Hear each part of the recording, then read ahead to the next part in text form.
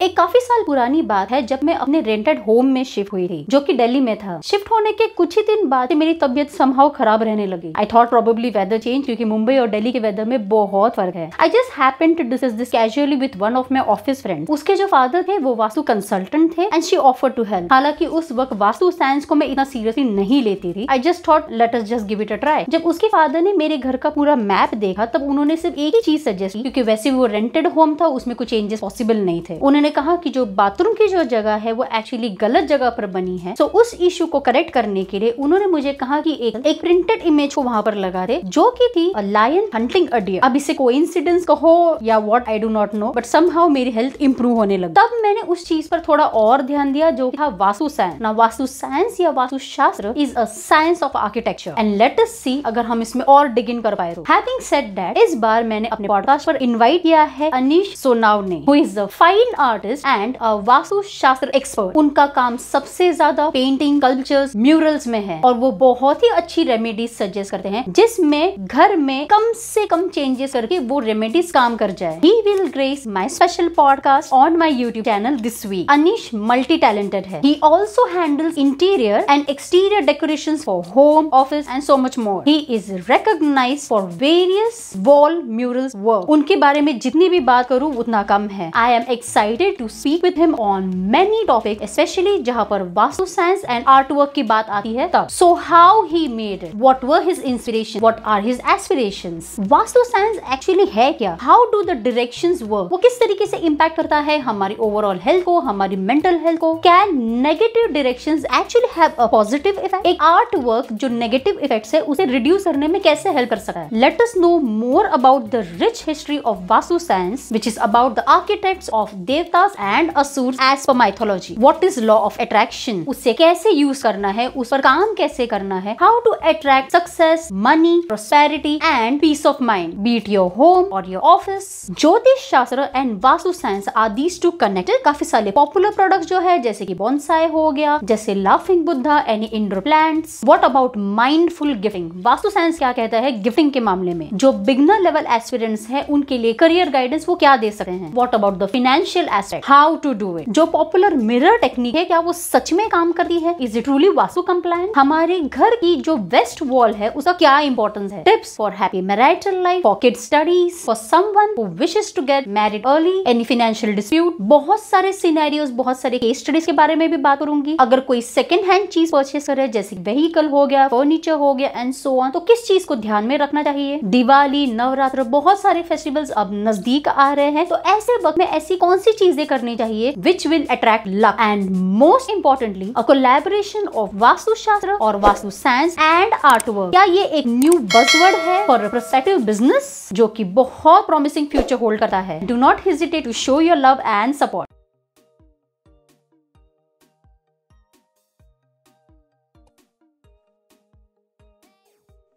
hey angels welcome to my channel and to my podcast जैसे कि मैंने कहा था I am glad to invite Anish Sonawane who is a fine artist and a Vastu science expert hi Anish कैसे हैं आप? Hi बढ़िया बढ़िया. नमस्ते. I hope everyone in your family is safe and happy हाँ सब अच्छे हैं तबीयत पानी से. Uh, so Anish, I welcome you to my channel and to my podcast. Thanks a lot for accepting my invite. तो मैंने अभी के लिए अपने जो व्यूअर्स हैं उनको थोड़ी बहुत आपके बारे में इंफॉर्मेशन दी है जैसे आपके क्रेडेंशियल्स के बारे में आपके आर्ट वर्क के बारे में। मैं चाहती हूँ कि थोड़ा बहुत आप भी आपकी तरफ़ से कुछ बताए maybe like beginning from your childhood आपके इंस्पिरेशंस के बारे में एस्पिरेशंस के बारे में आपके जर्नी के बारे में समथिंग लाइक like, अगर कोई चैलेंजेस आए या कोई हर्डल्स आए आपने कैसे ओवरकम किया आपका कोई experience anything that you would like to speak जो कि मेरे जो ऑडियंस है, उनको फ्लेवर ऑफ़ योर लाइफ दे। बचपन से मतलब बचपन से मुझे आर्टिस्ट होना है मतलब पेंटर होना है ये दहे में था मेरे। तो जैसे कि स्कूल के पढ़ाई के बाद कॉलेज किया बहुत सारे कोर्सेज किए छोटे छोटे बाद में पता चला कि इसका डिग्री होता है डिप्लोमा होता है। तो उसके लिए ट्राई किया। तो बेसिकली मैं हर डिपार्टमेंट में काम किया हुआ। मतलब commercial art fine art art teacher diploma craft teacher diploma ऐसे जो आर्ट के सर्कल में जो कोर्सेस होते हैं, वो स्कूल के बाद चालू हुए। एक लगभग 92 92 से टू 99 तक पूरा एजुकेशन ही था आर्ट के फ़ील्ड में। एजुकेशन होने के बाद पूरी पढ़ाई होने के बाद प्रोफेशनल लाइफ में क्या करना है ये तय करने के लिए आ, मेरे जो सर थे कॉलेज में उनसे डिस्कस किया तो क्या क्या कर सकते हैं? उन्होंने बहुत सारी चीज़ें बोली पेंटिंग कर सकते हैं या फिर एजेंसी में काम कर सकते हैं। तो उस दौरान एक अच्छे आर्टिस्ट है भगवान रामपुरे करके बहुत तो नाम है उनका महाराष्ट्र उनके स्टूडियो में एक असिस्टेंट की ज़रूरत थी। तो असिस्टेंट की ज़रूरत तो मैं वहाँ गया, उनसे कम से कम तीन या छः महीने उनके पास काम किया। सीखा मतलब कैसे काम किया जाता क्या काम उसके बाद में एक्चुअल मैंने पढ़ाई की पेंटिंग में टोटली और मैं अभी काम कर रहा हूँ शिल्प, शिल्पकार मतलब कार्विंग वगैरह स्टोन कार्विंग वगैरह, उसमें काम कर रहा हूँ। मतलब सीखा है पेंटिंग और काम कर रहा हूँ प्रोफेशनल काम कर रहा हूँ कार्विंग तो मेरे को पेंटिंग का बेनिफिट यहाँ पे मिला। तो मैं उसके बाद में इंटीरियर में काम करने लगा वॉल पेंटिंग्स और म्यूज़िक हो गया तो वो टाइम पे वास्तु का इतना ये नहीं था पॉपुलर नहीं था। कोई इतना जहन में नहीं लेते थे वास्तु को। एक रिसेंटली एक द, दस साल में दो हज़ार चार या पाँच के बाद थोड़ा सा पब्लिक में अवेयरनेस आने लगा कि वास्तुशास्त्र होता है। तो मेरी एक बहन थी मासी की लड़की है मेरे से बड़ी है।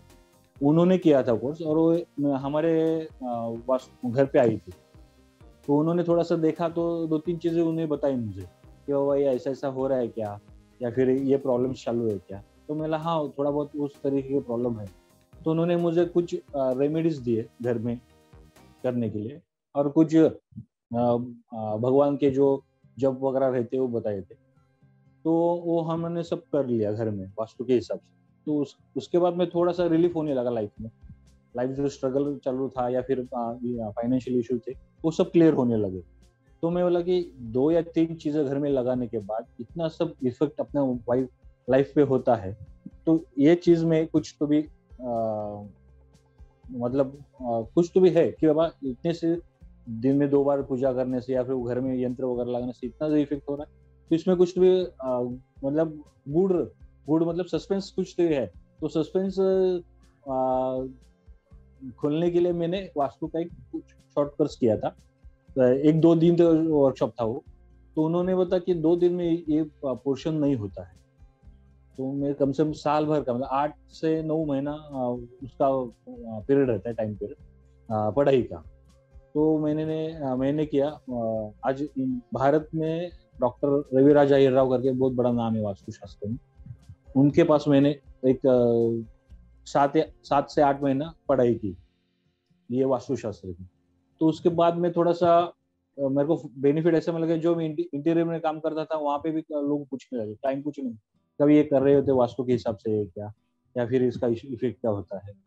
तो मेरे को, ये पढ़ाई, वास्तुशास्त्र पढ़ने के बाद मुझे मेरे आर्ट फ़ील्ड में ही थोड़ा सा सपोर्ट मिला। तो अभी फ़िलहाल मैं जहाँ भी जाता हूँ तो कैसे दिमाग में रहता है कि वास्तुशास्त्र तो ऑटोमेटिकली वो अपन एक्सपीरियंस करने लगते हैं, भाई, ये चीज़ इधर है, इसका कुछ इफ़ेक्ट है क्या? ये चीज़ गलत लग रही है। तो ये वजह से क्या होता है, अभी मेरा आर्ट का पूरा का पूरा फॉर्म जो है आर्ट फॉर्म वो पूरा का पूरा वास्तु के रिलेटेड चल रहा है। तो उसमें मतलब काम करने में सामने वालों को भी थोड़ी सी क्या इसको, अपन, सामने वाले को थोड़ा सा समझा देता हूँ कि, भाई, ये चीज़ ऐसे ऐसी रहती है। तो उनको भी वो आर्ट के वजह आर्ट भी अच्छी लगती है और उसका पर्पज जो है क्यों किया है क्या किया है तो उसके वजह से उनको मालूम होने के बाद वो और अप्रिशिएट करने लगे तो उस हिसाब से साइमेंटेलियसली दोनों मेरा आ, काम चालू है पेंटिंग का ही काम चालू है म्यूरल का भी काम चालू है और उसके साथ में वास्तु का ही काम चालू है Oh wow, great. Absolutely. So Anish, I see that you are actually multi-talented. तो आपकी फैमिली का रिएक्शन कैसे था? जब आपने like basically was your family supportive of your decision कि आप एक फाइन आर्टिस्ट बनना चाहते हो या वास्तु एक्सपर्ट बनना चाहते हो तो आपकी फैमिली का रिएक्शन कैसा था? नहीं फैमिली का रिएक्शन अच्छा ही था क्योंकि मेरे मम्मी पापा दोनों टीचर है। तो उनको इस फ़ील्ड की थोड़ी सी मालूम थी। लेकिन उनका एक कंसर्न था कि मैं आर्ट टीचर डिप्लोमा करूँ, एक सेफर साइड कि अगर समझो बिज़नेस या फिर ये फुल टाइम आर्टिस्ट में कुछ नहीं हो पाया तो बेसिकली हाथ में कुछ होना चाहिए सर्टिफिकेट वगैरह तो उस वजह से मैंने आर्ट टीचर डिप्लोमा किया। तो मैं एक स्ट्रगलिंग पीरियड में मैं आठ एक महीना स्कूल में पढ़ाई पढ़ाया भी है ड्राइंग वगैरह, लेकिन बाद में ये काम चालू होने के बाद मैंने वो सिखाना बंद कर दिया। तो घर से कोई प्रॉब्लम नहीं थी। इतनी खाली उनका ये यही करना कि कुछ तो भी कंफर्म करो। प्राइवेट डिप्लोमा वगैरह प्राइवेट कोर्सेस वगैरह करने से अच्छा गवर्नमेंट का कुछ है। तो उस तरह से हमने सर्च किया, क्योंकि वो टाइम पे ये फ़ील्ड इतने लोगों को मालूम नहीं थी। सब, जब मैं ये फ़ील्ड में जाना तय किया तो मुझे J J school of art ये नाम मालूम था, लेकिन वो बिल्डिंग कहाँ पे वो मुझे मालूम मतलब इतना डम था वो लगभग एक दसवीं के बाद ही बाहर आया था। तो मैं जहाँ रहता हूँ एक छोटा सा गाँव जैसा था। जो मतलब उन्नीस सौ अस्सी से लेके दो हज़ार एक उन्नीस सौ नब्बे तक पूरा गाँव ही था थोड़ा तो वहाँ पे पॉपुलेशन कम थी तो यहाँ पे आर्टिस्ट बनना है मतलब आगे जाके क्या करोगे? कुछ लोगों को कहना था कि घर पेंट करोगे क्या? या फिर ये जो बोर्ड वगैरह करते हैं दुकान के, वो काम करोगे क्या? मतलब वो वो काम होता है इसमें, लेकिन उससे जाके, आगे जाके, डिप्लोमा या डिग्री करने से अच्छा काम हो सकता है। तो मम्मी पापा का कोई अपोज ऐसा कुछ नहीं था। खाली उनका एक कंसर्न था कि तुम कुछ तो भी कंफर्म करो कि भाई समझो बिज़नेस नहीं हुआ तो एक जॉब करके सर्वाइव कर सको बस। और आ, मेरे नसीब से अच्छा है कि स्कूल में जो टीचर थे मेरे ड्राइंग टीचर या पीटी टीचर ये मुझे बहुत सपोर्ट करते क्योंकि मैं थोड़ा पढ़ाई में कमज़ोर था बाकी अदर एक्टिविटीज़ में थोड़ा अच्छा था। मतलब कॉलेज के बैंड बैंड पथक रहता है उसमें था। कॉलेज में कुछ फ़ंक्शन है तो उसके लिए डेकोरेशन वगैरह करना है तो वो टीम में, मेरे को मेरे टीचर और लेते थे। तो थोड़ा सा वहाँ से भी अच्छा पता चला कि ये फ़ील्ड भी अपन कर सकते हैं। तो ऐसा दिक्कत कुछ नहीं हुआ लेकिन खाली स्ट्रगल जो है मेरा स्टडी की वजह से क्योंकि इंग्लिश प्रॉपर आनी चाहिए क्योंकि हमारा जो बुक्स वगैरह जो है फ़ील्ड के वो 99 परसेंट इंग्लिश में ही है। तो थोड़ा सा फ्रेंड से लेके घर से घर वालों के लेके थोड़ा कंबाइन करके हम लोगों ने पढ़ाई पूरी की। तो जब जब आर्ट टीचर डिप्लोमा किया उसके बाद में लकीली मैं मेरिट में आया था वो टाइम तो आ, उस आ, उसके वजह से मुझे डिग्री में ब्रिज कोर्स बोलते हैं। हम लोग कि दो साल नहीं करके डायरेक्ट थर्ड ईयर को एडमिशन मिल सकती तो स्कूल में पढ़ाई में कमज़ोर था, लेकिन प्रैक्टिकली पढ़ाई अच्छी होने लगी, इस वजह से मैं डिस्टेंस में तो घर वालों को बोला हाँ लड़का स्कूल में एवरेज ही था, लेकिन आगे के पढ़ाई में थोड़ा सा होशियार हो गया उस वजह से कुछ प्रॉब्लम नहीं हुआ आगे जाके। हाँ बाद में जो डिग्री होने का, जो स्ट्रगल पीरियड रहता है, काम कैसा करना है, कैसे करना है, वो तो पीरियड था, लेकिन इतना बड़ा नहीं था, लेकिन घर वालों का सपोर्ट अच्छा था। उसके बाद में कॉलेज में कॉलेज पीरियड में भावना से मेरी पहचान हुई। भावना तो उसके बाद में शादी हुई हमारी। तो मेरी वाइफ आर्टिस्ट है तो मुझे समझ सकती है। इस वजह से मैं, मुझे क्या दोस्तों किसी का कुछ भी टेंशन नहीं लेके मैं फ़ील्ड में स्ट्रगल कर रहा था। वो टाइम पे भावना वो संभाल रही थी सब। फैमिली का सपोर्ट मुझे आज भी है, तब भी था। बेसिकली ऐसे आर्टिस्ट लोगों को कुछ मॉरल सपोर्ट होना चाहिए।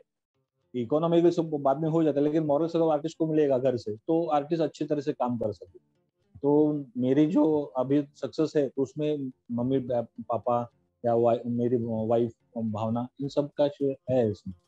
एब्सोल्युटली एंड इनफैक्ट आपकी काफ़ी इंटरेस्टिंग स्टोरी है अनिश बिकॉज़ आई कैन सी कि मतलब मैं इमेजिन कर सकती हूँ कि 80s 90s का ये जो टाइम था स्पेशली जिस टाइम इंटरनेट इतनी इजीली अवेलेबल नहीं था उस टाइम में जो स्ट्रगल था वो अलग ही लेवल का था। अभी हो सकता है कि शायद मैं उसे वर्ड्स में एक्सप्रेस ना कर सकूँ but I can very relate what kind of challenges you might have faced none आपकी लाइफ जो है वो एक्चुअली काफ़ी इंटरेस्टिंग रही। एंड आई कैन सी कि आप आर्टिस्टिकली बहुत इंक्लाइन थे। तो कहीं ना कहीं वो जो पैशन था आपकी लाइफ में हमेशा उसने आपको हेल्प किया। सो so, अनिश थोड़ा और जानना चाहती हूँ आपके पर्सनल लाइफ के बारे में। सो मे बी अभी जैसे आपने कहा कि Bhavana had always been there as a strong support as a pillar for you so आपको ऐसा लगता है लाइक like, मुझे पर्सनली अगर मेरी अगर आप ओपिनियन पूछे तो मुझे आप और भावना दोनों एक पावर कपल लगते हैं। What do you have to say about it power couple मतलब ऐसा दोनों के काम करने के तरीके टोटली डिफरेंट है। उनकी स्टाइल अलग है मेरी स्टाइल अलग है। उनका मट, जो मीडियम है वो अलग है। मेरा मीडियम अलग है। लेकिन क्या होता है कि जो आ, मतलब संवाद होता है एक दूसरे के एक एक हाथ सब्जेक्ट आ गया तो बातचीत की तो उन्होंने कुछ पॉइंट्स मुझे बताया कि ऐसे काम कर सकते हैं। या फिर उनका कुछ काम रहे तो जो एग्जैक्ट वर्क पे दोनों का कुछ एक दूसरे के काम में हम मदद नहीं करते लेकिन जो वर्बली होता है उसमें बहुत सारा फ़र्क पड़ सकता है। मतलब कुछ सब्जेक्ट आए तो उस सब्जेक्ट पे किस तरह से काम कर सकते हैं? मेरा थिंकिंग वे अलग रहेगा उनका अलग। तो मुझे सर एक एक सब्जेक्ट के लिए तीन चार एंगल्स मिल जाते हैं काम करने के। तो मेरा बेनिफिट हो गया कि भावना जो है आर्टिस्ट है तो उनका जो टैलेंट है या फिर उनका जो आ, काम करने का तरीका है वो मेरे इसमें ला सकता हूँ या इम्प्लीमेंट कर सकता हूँ। तो और मेरे पहले से मालूम था कि आर्टिस्ट को आर्टिस्ट ही समझ सकते भले कितना भी अलग फ़ील्ड का हो या फिर अलग स्टाइल का हो, लेकिन एक एक सिंगल कनेक्शन रहता है कि एडजस्ट हो सकता है या फिर समझ सकते हैं कि वहाँ इसका ऐसा होता है, ये काम ऐसा किया जाता है। तो उस वजह से भावना का सपोर्ट हर बार में अच्छा हुआ है, मिला है। So this okay. is how same and how different or unique you both are. तो आप दोनों फिर आपकी पर्सनल लाइफ प्रोफेशनल लाइफ कैसे बैलेंस करते लाइक like, आपका कोई स्केड्यूल है? How do you manage it actually ऐसे दोनों आर्टिस्ट है तो दोनों पागल है। तो कुछ सब प्लान नहीं करते कि आज ऐसा करेंगे फिर ऐसा जैसे जैसे काम आता है तो काम में बेसिकली काम आने से दोनों का माइंड फ्रेश हो जाता है दोनों अपने अपने काम में बिज़ी रहते हैं। तो जैसे प्लान नहीं किया कि पर्सनल लाइफ ऐसी होनी चाहिए या फिर आर्टिस्ट क्योंकि दोनों आर्टिस्ट होने की वजह से घर में माहौल वैसा ही है। मेरे बच्चे भी अभी आर्टिस्ट नहीं है लेकिन वो उसी माहौल में पड़े तो उनका वो भी चालू रहता है क्रिएशन वगैरह वगैरह। तो ऐसा प्रोफेशनल और पर्सनल लाइफ में ऐसा कुछ डिफरेंट नहीं है। जो प्रोफेशनल है वही पर्सनल लाइफ है। क्योंकि दोनों का सब्जेक्ट एक ही है। उस वजह से कुछ ऐसा प्लान नहीं किया था कि ऐसा करेंगे वैसा करेंगे। सो so, अनिश थोड़ा सा और जानना चाहती हूँ आपकी पर्सनल लाइफ के बारे में। So maybe I will take a step back तो चलते आपके थोड़े बचपन के बारे में आपके चाइल्डहुड के बारे में। सो so, आप बता सकते हैं कि आपके चाइल्डहुड में ऐसी कौन सी स्ट्रॉन्गेस्ट मेमोरी थी जो अभी भी आपको याद है शायद आपको इंस्पायर करता है? बेसिक कैसा होता है कि स्कूल में मैं एवरेज स्टूडेंट था तो अदर एक्टिविटीज़ में ज़्यादा ध्यान था मेरा। तो मेरे कुछ शायद मैं फोर्थ या फिफ्थ स्टैंडर्ड में रहूँगा। हम चौल में रहते थे। तब ये बिल्डिंग की सिस्टम ही नहीं थी, चौल ही या फिर एक जैसे गाँव में जैसे चार घरों इकट्ठा करके एक कुंभा बनाया जाता उस तरह से चौल में रहते थे। तो वहाँ पे मुझे बर्थडे में मेरे किसी ने कैमलिंग की ऑरेंज कलर की वाटर कलर की बॉक्स आता था। इतना छोटा सा था ऑरेंज कलर का। अभी वो मिलता भी नहीं मार्केट में, दिखने को भी नहीं मिलता। तो आए थे तो वो पेंट करना, उसमें ब्रश था कलर थे तो मैं पूरे चौल के दीवार पे पेंटिंग करता, कि मतलब पेंटिंग मतलब स्केच करता था, या आप लैंडस्केप वगैरह करता था।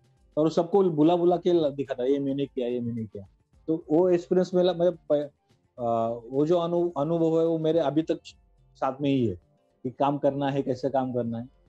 तो ये मेमोरी मेरी अच्छी भी है और स्ट्रांग भी है, कि मैं बचपन से ही हाथ में ब्रश लेके काम किया हूँ। बाद में स्कूल पीरियड में स्कूल टाइम में भी जैसे ड्राइंग टीचर थे वो मुझे फेयर कर, पसंद करते थे क्योंकि मैं थोड़ा सा उनके आ, काम में या फिर स्कूल में एक्टिविटी में भाग लेता। तो थोड़ा सा पढ़ाई की तरफ़ ध्यान थोड़ा कम हो गया लेकिन अदर एक्टिविटीज़ में ध्यान अच्छा हो गया। तो उस वजह से अभी ये फ़ील्ड में आने को मिला मुझे। और घर वालों का सपोर्ट है ही उसमें कि क्या करना है करो लेकिन सीरियसली और स्ट्रांगली करो। Right right. तो अभी जैसे आपने कहा कि आपके काफ़ी लोगों के साथ इंटरेक्शन हुए आपको काफ़ी आपके टीचर्स सब सपोर्ट करते थे। तो आपको बेस्ट पीस ऑफ़ एडवाइस किसने दिया? हर हर मोड़ पे एक एक पर्सन मुझे मिलने लगा। स्कूल में मेरे ड्राइंग टीचर थे। बाहर जब मैं हमारे बदलापुर गाँव टाइप था अभी शहर हो गया। वो टाइम में दसवीं के बाद मैं बम्बई मतलब कॉलेजेस सब मुंबई में थे। तो वहाँ पढ़ाई करता तो वहाँ पे आ, मैंने जहाँ पे शॉर्ट कोर्स किए थे कमर्शियल आर्ट तो वहाँ पे जे जे स्कूल ऑफ़ में इंटरव्यू इंटरव्यू होते थे पहले एंट्रेंस एग्ज़ाम होते थे। अभी भी है, लेकिन अभी थोड़ा थोड़ा अलग टाइप का है। तो एग्ज़ाम में मैं फेल हो गया था। इंटरव्यू के एग्ज़ाम रहते थे प्रैक्टिकल उसमें फेल हो गया था। तो थोड़ा सा नाराज़ नाराज़ हो गया था कि अभी इसमें फेल हो गया, मैं ड्राइंग निकालने में मैं फेल हो गया तो आगे जाके कैसे तो वहाँ पे एक देशमुख करके सर थे। वो प्राइवेट कॉलेजेस के लेक्चरर थे आर्ट के।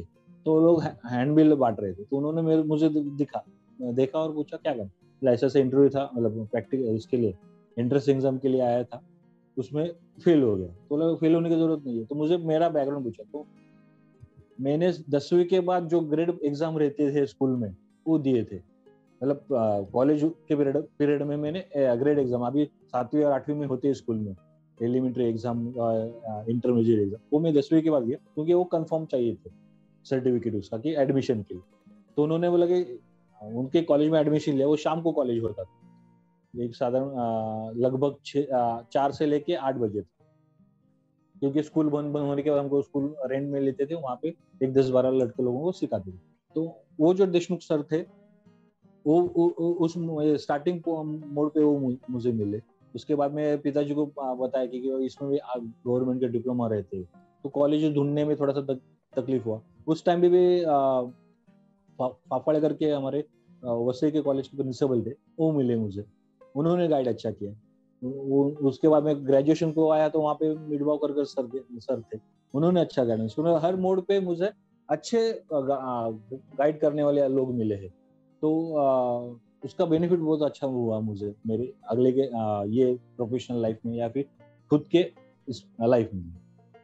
राइट सो so, अनिश अभी आपके बैकग्राउंड में मुझे एक पेंटिंग दिख रही है। ये वो पेंटिंग है जिसकी आपने मुझे इमेज भेजी थी? Is it is it that same painting हाँ हाँ वही है। ये एक्चुअली कंप्लीट आर्ट वर्क है जो आपने मुझे भेजी थी। शायद वो कंप्लीट पिक्चर नहीं थी शायद।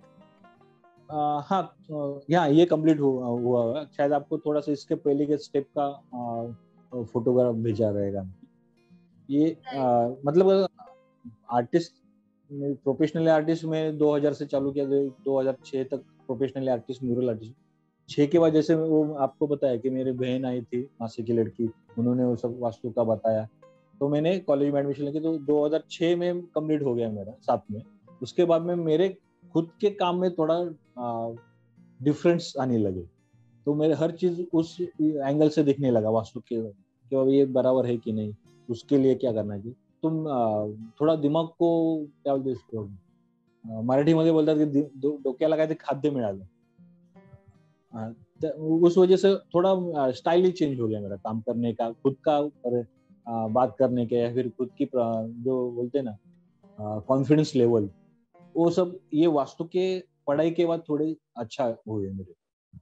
कॉन्फिडेंस मतलब कैसे क्लाइंट से टैकल करना है, फिर क्या चीज़ें करनी चाहिए तो ये वास्तु का थोड़ा सा कैसा होता है कि आप बोलते ना व्यक्ति महत्व व्यक्ति महत्व के जो लेक्चर रहते हैं इंग्लिश में उसको क्या बोलते हैं? पर्सनालिटी डेवलपमेंट्स वो जो कोर्स है, ये वास्तु की सब वास्तु की स्टडी करने के बाद वो खुद भी ऑटोमेटिकली मुझमें वो चेंजेस होने लगे। वास्तु का थोड़ा इफ़ेक्ट अच्छा है और मुझ पे ज़्यादा है। फ़ायदे भी उतने होते हैं उसके। राइट सो अनिशा अभी लाइक बीइंग अ महाराष्ट्र अभी मैं शायद कनेक्ट कर सकती हूँ कि जो पेंटिंग आपने बनाई है ये किस चीज़ की है? बट हाँ, शायद व्यूवर्स को शायद काफ़ी व्यूवर्स को पता ना हो तो आप बता सकते हैं कि ये पेंटिंग क्या मतलब what does it aim to ये पेंटिंग का सब्जेक्ट क्या है? राइट हाँ। जस्ट फॉर माय व्यूवर्स क्योंकि शायद काफियों को पता नहीं होगा। ये पेंटिंग है जो महाराष्ट्र के आराध्य देव विठल के बोलते हैं उनके सब्जेक्ट के ऊपर है।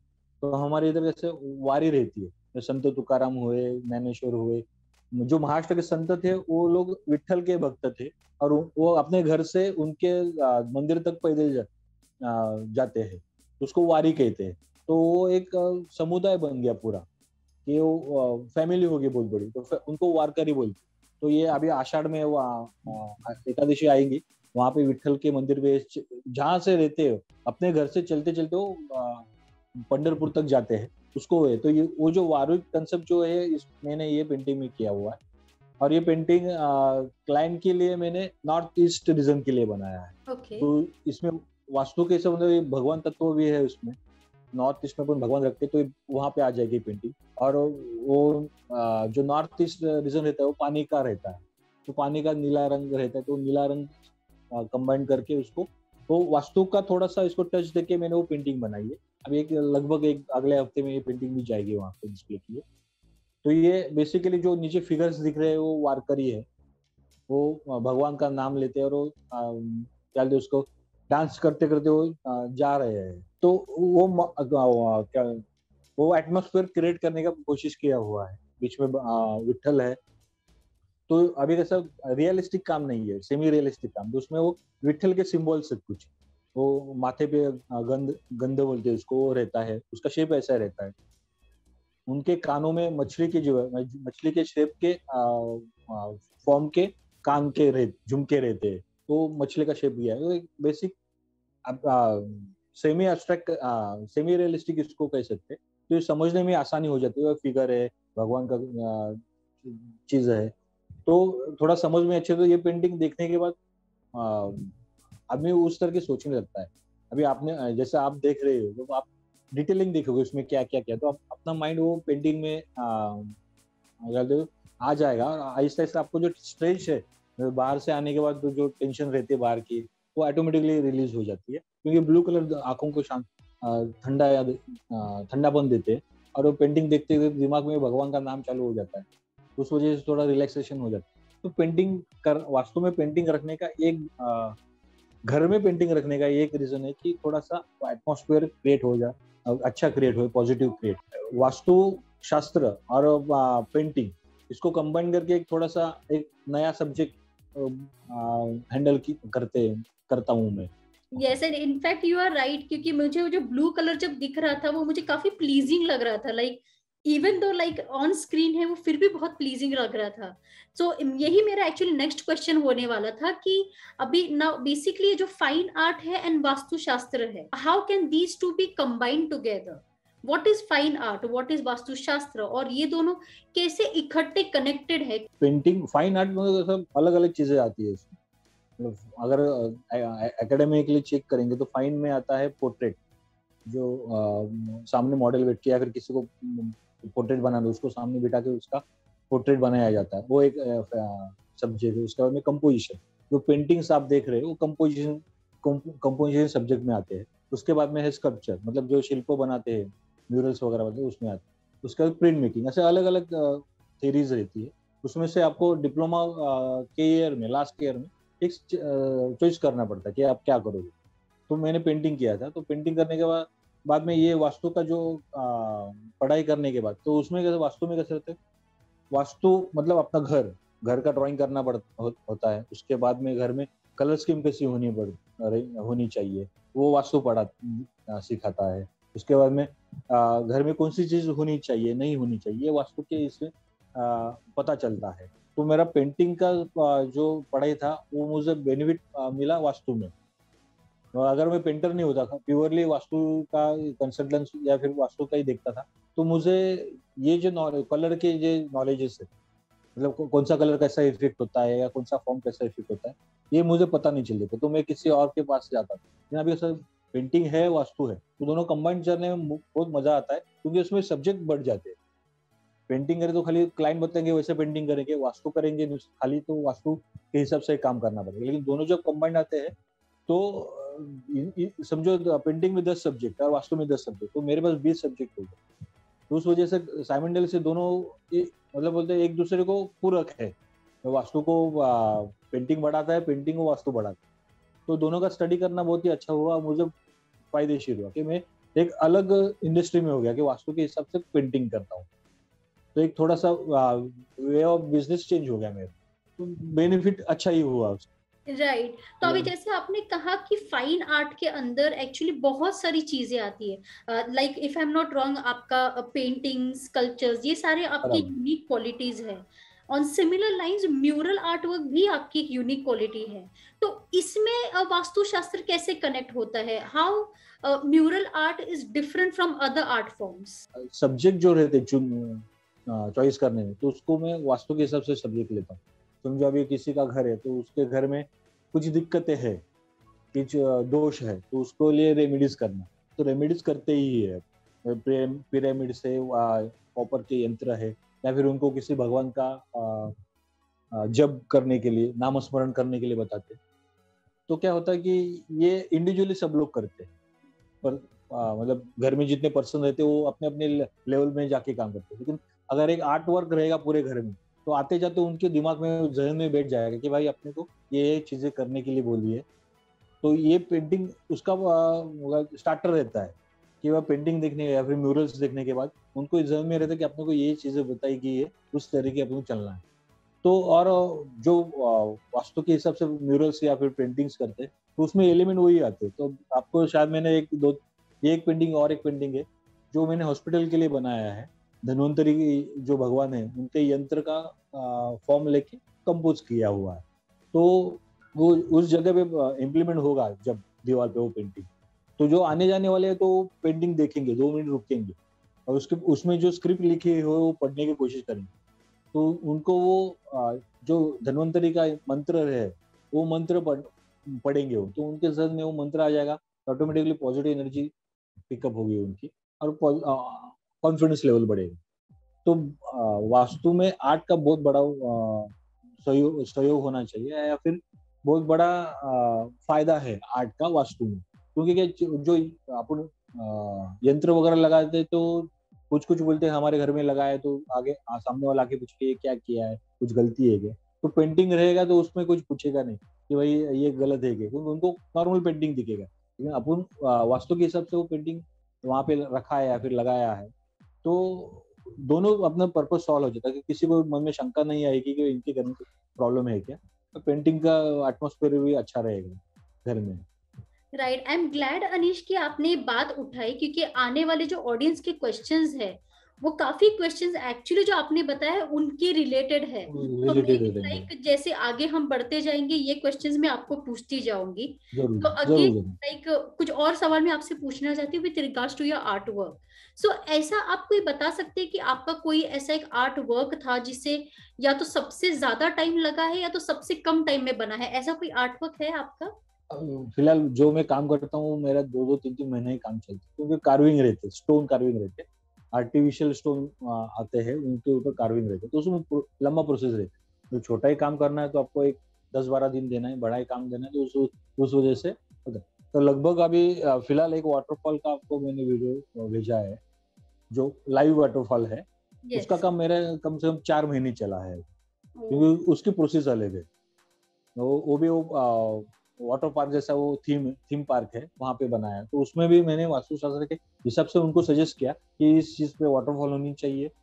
तो उसमें क्या हो गया उनका भी पर्पज था वाटर पार्क का। वो सॉल्व भी हो गया और उसके साथ में वास्तु का भी उनका दोष जो है वो भी निकल गया। तो साउथ वेस्ट में पहाड़ होनी चाहिए मतलब वज़न होना चाहिए। तो ऑटोमेटिक वो पूरा वाटरफॉल का अपन स्ट्रक्चर बनाया हुआ है वो पूरा हेवी ही है। मतलब लगभग एक बारह तेरह फीट हाइट है उसकी। तो ये मुझे फ़ायदा हो रहा है कि सामने वालों को कन्विंस करने के लिए। क्योंकि काम तो करवाना ही है उनको लेकिन काम करने के पीछे मोटो क्या है? ये मेरा वास्तु का पढ़ाई होने के से मैं उनको समझ सकता हूँ या फिर बता सकता हूँ कि ये चीज़ करने से फ़ायदा होता है। एब्सोल्युटली मैंने देखी आपकी वो वीडियो जहाँ पर आपने वाटर फाउंटेन का वो दिखाया था। इट इज़ एब्सोल्युटली ब्यूटीफुल मतलब इट्स लाइक like, मुझे दो मिनट के लिए लगा कि काश मेरे घर में इतना स्पेस होता तो शायद मैं भी आपसे वो वाटरफॉल बनवा लेती। सो so, अनिशा अभी जैसे कि आपने बताया कि पेंटिंग्स है स्कल्पचर्स है। सो करंटली आर्ट वर्ल्ड में उसमें और कुछ नयापन क्या हो रहा है? कुछ आप बता. सकते हैं anything trending in your art world अभी फ़िलहाल तो क्या हो गया नेट नेट नेट आ गया बाद में ये अलग अलग चैनल्स आने लगे। तो उसमें क्या होगा कि जैसा ये सब लोग बोलते कि ये क्या बोलते उसको पूरा जग इकट्ठा हो गया नेट के वजह से। तो उस आ, उस वजह से क्या होता है कि अभी जो पेंटिंग करने की टेक्निक है वो बदली नहीं लेकिन मीडियम्स अलग अलग मिलने लगे। जो मटेरियल्स है वो अलग अलग मिले तो उस वजह से क्या होता है कि काम में थोड़ा डेवलपमेंट होने लगी कि पहले मट्टी काम किया जाता था। अभी ये क्ले प्लास्टिक क्ले आता है, बहुत सारे मटेरियल्स अवेलेबल हो गए तो उस वजह से काम में थोड़ी सी ग्रोथ होने लगी और वो काम में क्वालिटी बढ़ने लगी। पहले तो खाली मट्टी का ही काम किया जाता अभी अलग अलग वैक्स क्ले है सिरेमिक क्ले है, उस वजह से क्या था, काम में थोड़ा सा आसानी हो जाती है और टाइम पीरियड बच जाता है।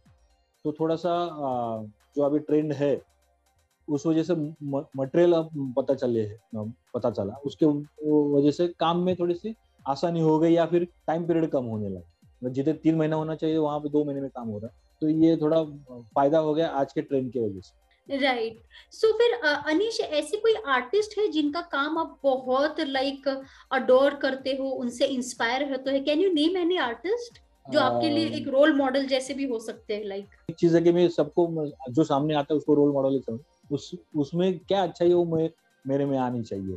ये ढूंढे रहे, भले मेरे से उम्र से कम रहे या फिर उम्र से बड़े रहे तो मेरी ये चीज़ है कि हर शख्स से मुझे कुछ मिलेगा अच्छे सीखने के लिए, या फिर अच्छा कुछ मालूम पड़ेगा। ये ये चीज़ तो हर, जैसे हर फ़ील्ड में मुझे अलग अलग गुरुज मिले हैं, वो भी अच्छे मिले। अभी तक उनके टच में हूँ, वो मुझे जब कुछ प्रॉब्लम होता है या फिर कुछ डिस्कस करना है तो वो भी अभी अवेलेबल हो जाते हैं।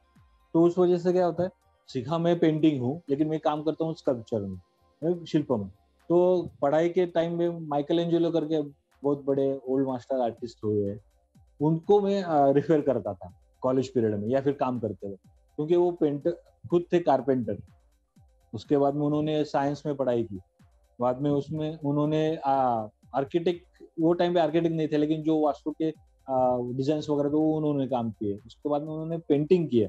उसके बाद में उन्होंने स्कल्पचर किए जो बड़े बड़े स्कल्पचर है रोम में वो माइकल एंजेलो के ही बने तो वो थोड़ा एक्सपीरियंस क्या उसका इन्फ्लुएंस मेरे पे था वो वो कौन से कौन से फ़ील्ड में काम किया है तो अपन भी वही फ़ील्ड का काम करें। तो माइकल एंजेलो मुझे बहुत अच्छे लगते हैं। उन, उनका एक सेंटेंस था कि भगवान और आर्टिस्ट इसमें खाली दो उंगलियों का फ़र्क रहता है। ये उनका सेंटेंस है। मतलब भगवान है एक एक आधी चीज़ में जान डाल सकता है। आर्टिस्ट खाली जान नहीं डाल सकता लेकिन वो चीज़ बना सकता है। तो हाँ, ये जो सेंटेंस ये जो सेंटेंस है मेरे जहन में अभी तक घूम रहा है।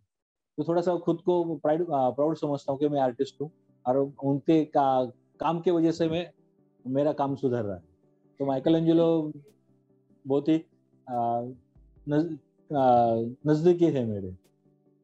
You are blessed with it Anish I have I have to agree to that so Anish आपको क्या लगता है? Like as a fine artist what is the biggest challenge that you see मेरे पीरियड में जब मैंने डिग्री कंप्लीट की या प्रोफेशनल लाइफ चालू करना था तो थोड़ा स्ट्रगल था कि कौन से फ़ील्ड में करे क्या करे कहाँ से इनकम चालू हो। तो मैंने स्टार्टिंग में फ़िल्म सिटी में काम किया है एज असिस्टेंट आर्ट डायरेक्टर के मतलब उसमें रेंज रहते एक से लेके दस तक। एक का दूसरा दूसरे का तीसरा ऐसा तो जो लास्ट वाले नंबर से उसमें मैंने थोड़ा बहुत काम किया है कि कैसे काम किया जाता है। लेकिन स्ट्रगल तो हर चीज़ में हर फ़ील्ड में स्ट्रगल रहता है। खाली स्ट्रगल कितना करते हो कितना पेशेंस रखते हो उसके ऊपर आपका सक्सेस रहता है। तो स्ट्रगल पीरियड अच्छा लगा मुझे क्योंकि कुछ कुछ सीखने को मिला बहुत सारे लोगों से मिलने को मिला। उनसे उनकी क्या गलती है उनकी क्या अच्छाई है वो सब पता चली। उस वजह से मैं खुद को डेवलप कर, करने में मेरे को आसानी हुई। तो स्ट्रगल तो हर चीज़ में है सबके फ़ील्ड में है। इसमें थोड़ा सा ज़्यादा समझ सकता है क्योंकि ये फ़ील्ड थोड़ी सी अनलिमिटेड है। हमारे जो क्लाइंट है वो थोड़े से अपर मिडिल क्लास है मिडिल क्लास के ऊपर के है। तो उसमें जैसे क्या होता है कि हर आदमी को पसंद आता ही है नहीं। आर्ट किसी किसी को पसंद है। तो उस वजह से थोड़ा सा स्ट्रगल पीरियड है थोड़ा सा लेकिन एक बार अगर आपकी लाइन चालू हो गई या फिर आपको काम मिलना चालू हो तो ऑटोमेटिकली साइमेंटली एक के बाद में एक काम चालू होता है। खाली पेशेंस होना चाहिए। मतलब एक काम होने के बाद दूसरा काम कब आएगा वो पता नहीं चलता लेकिन आ जाता है काम। तो ये जो बीच में की एक काम होने के बाद दूसरा काम चले बीच में के जो पेशेंस होते हैं वो ज़रूरी है आर्ट एटलीस्ट आर्टिस्ट के लिए। सो so, अनिश आपकी लाइफ काफ़ी इंटरेस्टिंग रही। मतलब आपके चैलेंजेस और आपने कैसे उसे ओवरकम किया। I think it's really very interesting और ये काफ़ी इंस्पायरिंग भी है। तो अभी जिस स्टेज पर आप हो आपको क्या लगता है? हैव यू अचीव्ड एवरीथिंग कि आपको ऐसा लगता है कि जो भी आपने गोल सेट किए थे वो आपने सब हासिल कर लिए हैं? या आप और भी ऐसे कोई चीज़ है जो आपको लगता है कि शायद आपको हासिल करना बाकी है? ऐसा कुछ एम नहीं रखा था कि मुझे ये करना है या फिर मुझे ये बनना है। ए, एक ही एम था मेरा कि जो कुछ काम आए उसको ना नहीं बोलना है। मतलब कुछ भी असाइनमेंट आए सामने से उसको ना नहीं बोलना है। कुछ भी करके वो असाइनमेंट पूरी करनी है। यही मेरा गोल रहता है तो उसमें बेनिफिट ऐसा था कि मेरे काम के तरीके बदलने लगे काम अच्छी तरह से अलग अलग फ़ील्ड में होने लगे। तो मेरा एक ही गोल है कि जो काम आए उसको ना ना ही बोलना है।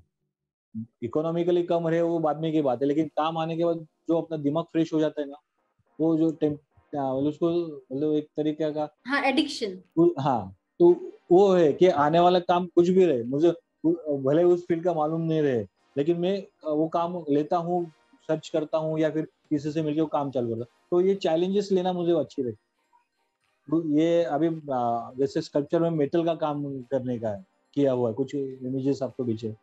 तो वे, उसमें वेल्डिंग रहती है कटिंग रहती है। तो हमारे फ़ील्ड में स्कल्पचर फ़ील्ड में एक metal metal and craft subject रहता है। तो उस जब मुझे काम आया एक मेटल का तो मैं कॉलेज में गया सर से मतलब मुझे सीखना है। तो मैं उम्र होने की वजह से ज़्यादा होने की वजह से मुझे एडमिशन नहीं तो मैं तमिलनाडु गया महाबलीपुरम।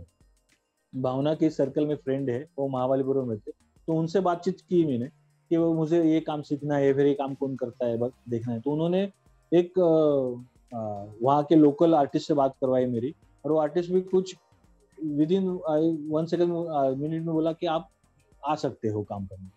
तो वहाँ पे जाके वहाँ का एक्सपीरियंस क्या है? और ये वास्तु का एक्सपीरियंस का तो जो आर्टिस्ट थे जिनसे मैंने मीटर का काम वो खुद मंदिर का काम करते। वहाँ पे साउथ में कैसे रहते कि हर चीज़ हाउस मतलब घराने को एक एक मंदिर दिया जाता है। कि आप विष्णु का मंदिर संभालो आप शंकर का मंदिर संभालो। तो मैं जिनके साथ में काम सीखा हूँ वो विष्णु के टेम्पल्स देखते थे। तो वास्तु के हिसाब से वहाँ पे मुझे बेनिफिट मिला कि विष्णु के जो अवतार है उनकी क्या कहानी है उनका क्या सिम्बॉल्स है तो ये सब रिलेटेड हो, होने लगे। वास्तु का हर जगह पे मुझे सपोर्ट मिलने लगा। और मेरा काम बेहतर और बेहतर होने लगा।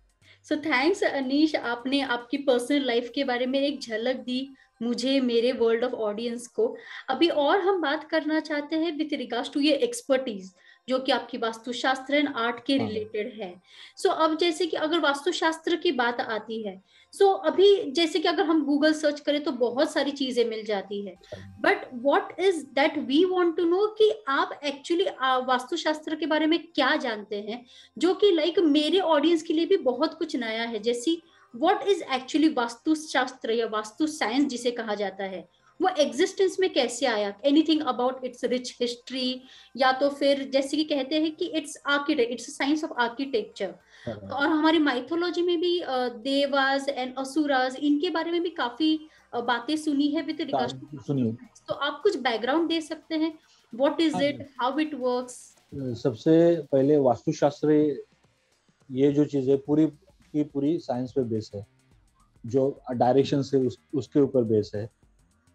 बाद में उसके बाद में जो डायरेक्शन के भगवान है उनके ब्लेसिंग्स अपने को कैसे मिलनी चाहिए उस उसका उसमें नॉलेज दिया हुआ वास्तुशास्त्र इसका एग्जैक्ट टाइम पीरियड बता नहीं सकता हूँ लेकिन विष्णु पुराण और गरुड़ पुराण ये जो अपने बड़े ग्रंथ है उसमें वास्तुशास्त्र के टिप्स लिखे हुए हैं।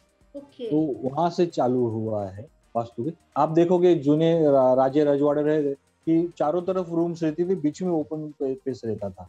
एब्सोल्युटली राइट हाँ, तो ओपन पेस क्यों रहता था? क्योंकि वास्तु में पाँच जो तत्व है अपने आकाश जल वायु भूमि और अग्नि। तो जो सेंट्रल रीजन जो रहता है वास्तु का वो आकाश तत्व रहता है। तो वो खाली होना चाहिए ओपन टू स्काई होना चाहिए। उस वजह से पूरे आप देखोगे किले किले के स्ट्रक्चर देखोगे जो राजस्थान में राज, राजमहल है उनके स्ट्रक्चर देखोगे। या फिर अपने खुद के गाँव में जाओगे तो पूरे के चारों तरफ़ से रूम रहती है बीच में ओपन स्पेस रहता है। तो ये कई सदियों से चल रहा चला आ रहा है। बीच में थोड़ा सा बैकफुट पे चला गया था लेकिन अभी थोड़ा सा अवेयरनेस बढ़ने लगा उसकी वजह से।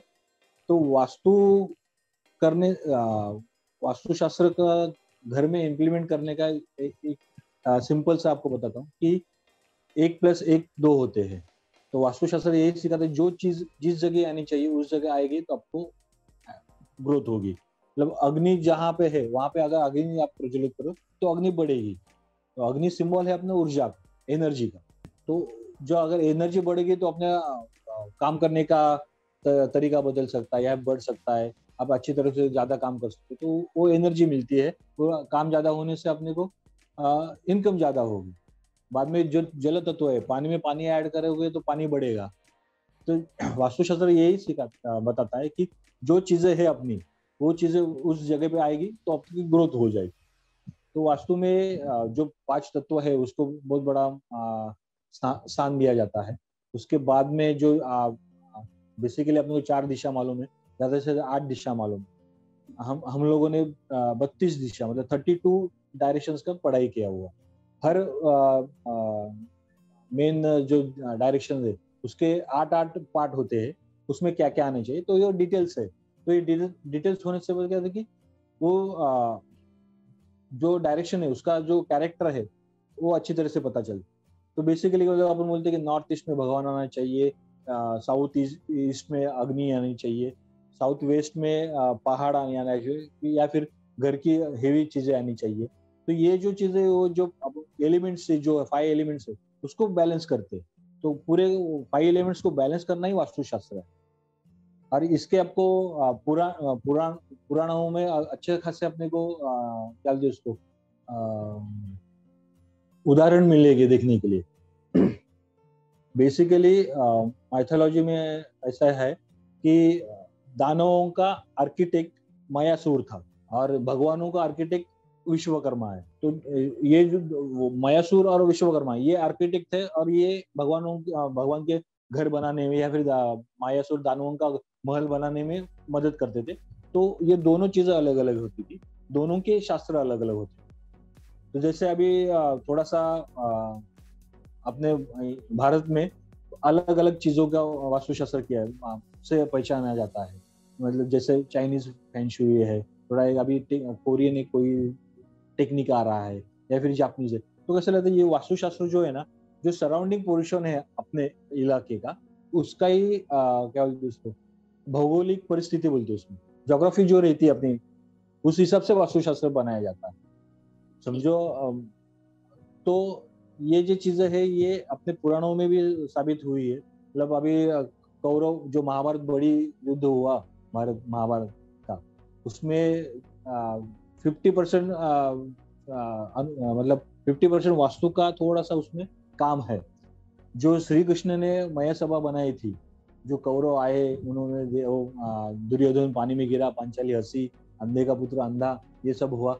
वो जो महल बनाया था जो देख के कौरव चौक गए थे कितना अच्छा महल है ये अच्छा है तो ऐसा महल मेरे राज्य में होना चाहिए। तो कृष्ण ने इसमें क्या किया था कि जो आ, महल बनाने का काम था, वो दानों के आर्किटेक्ट मतलब मयासुर को दिया था, इसीलिए वो मय सभा बोलते हैं उसको। तो उसने क्या हो गया कि उसने सब निगेटिव पोर्शन बढ़ाए उस वास्तु में। तो मया जो मय सभा बनाए उसमें सब निगेटिव ज़्यादा किए। निगेटिव ज़्यादा होने की वजह से कौरव जहाँ, वहाँ पे आए, उन्होंने देखा कि ये बहुत बढ़िया है।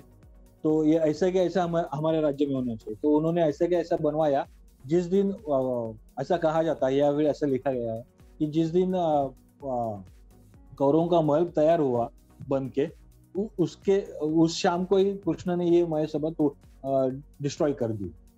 और उसके बाद में कौरवों का पतन चालू हुआ। अच्छा। क्वाइट एन इंटरेस्टिंग स्टोरी हाँ बहुत सारी चीज़ें हैं। बाद में ये तो पांडवों की तरफ़ या फिर महाभारत की स्टोरी है। तो थोड़ा आगे आएँगे तो महाराष्ट्र में पेशवे करके अभी अच्छा पिक्चर बाजीराव मस्तानी जो पेशवाई है तो उसमें भी एक ऐसा उदाहरण है कि दूसरे माधव राव करके है उनको उनके चाचा ने ही मारने की कोशिश की थी या फिर तो ये जो चीज़ें है तो जो शनिवार वाड़ा करके पुणे में है तो वो टाइम पे आनंदी बाई करके है पेशो की चाची उनको वास्तुशास्त्र का अच्छा ज्ञान तो उन्होंने वास्तुशास्त्र का थोड़ा सा गलत इस्तेमाल करके वो चीज़ें करवाई और उसमें वो जो पेशवाई थी वो खत्म हो गई। उन्होंने क्या किया हाँ तो उन्होंने क्या किया कि सेंटर जो वाड़ा था उनका शनिवार वाड़ा बोलते हैं अभी उसके सेंटर में एक कुआ खुदवाया। मतलब जिधर स्काई मतलब आकाश तत्व है वहाँ पे उन्होंने पानी डाला पानी रखा। मतलब पानी और अग्नि पानी और आ, हवा आकाश एकत्र आ जाए तो बोलते ना तूफ़ान आता है। पानी में अगर हवा हाँ उस तरह से वो वास्तु का थोड़ा गलत इम्प्लीमेंट करके ये चीज़ें की गई है। मतलब पॉजिटिव तो बहुत कम अपने पास रिज़ल्ट थे लेकिन निगेटिव बहुत सारे रिजल्ट्स कि बाबा उन्होंने ऐसा का काम किया वास्तु के हिसाब से तो गलती होगी। तो अपने इधर कहते हैं निगेटिव अच्छा पब्लिश हो जाता है पॉजिटिव कम पब्लिश हो जाता है। तो अभी ये जो वास्तुशास्त्र है थोड़ा थोड़ा सा लोगों में पता चला कि भाई ये चीज़ होती है या फिर ये चीज़ का फ़ायदा होता है।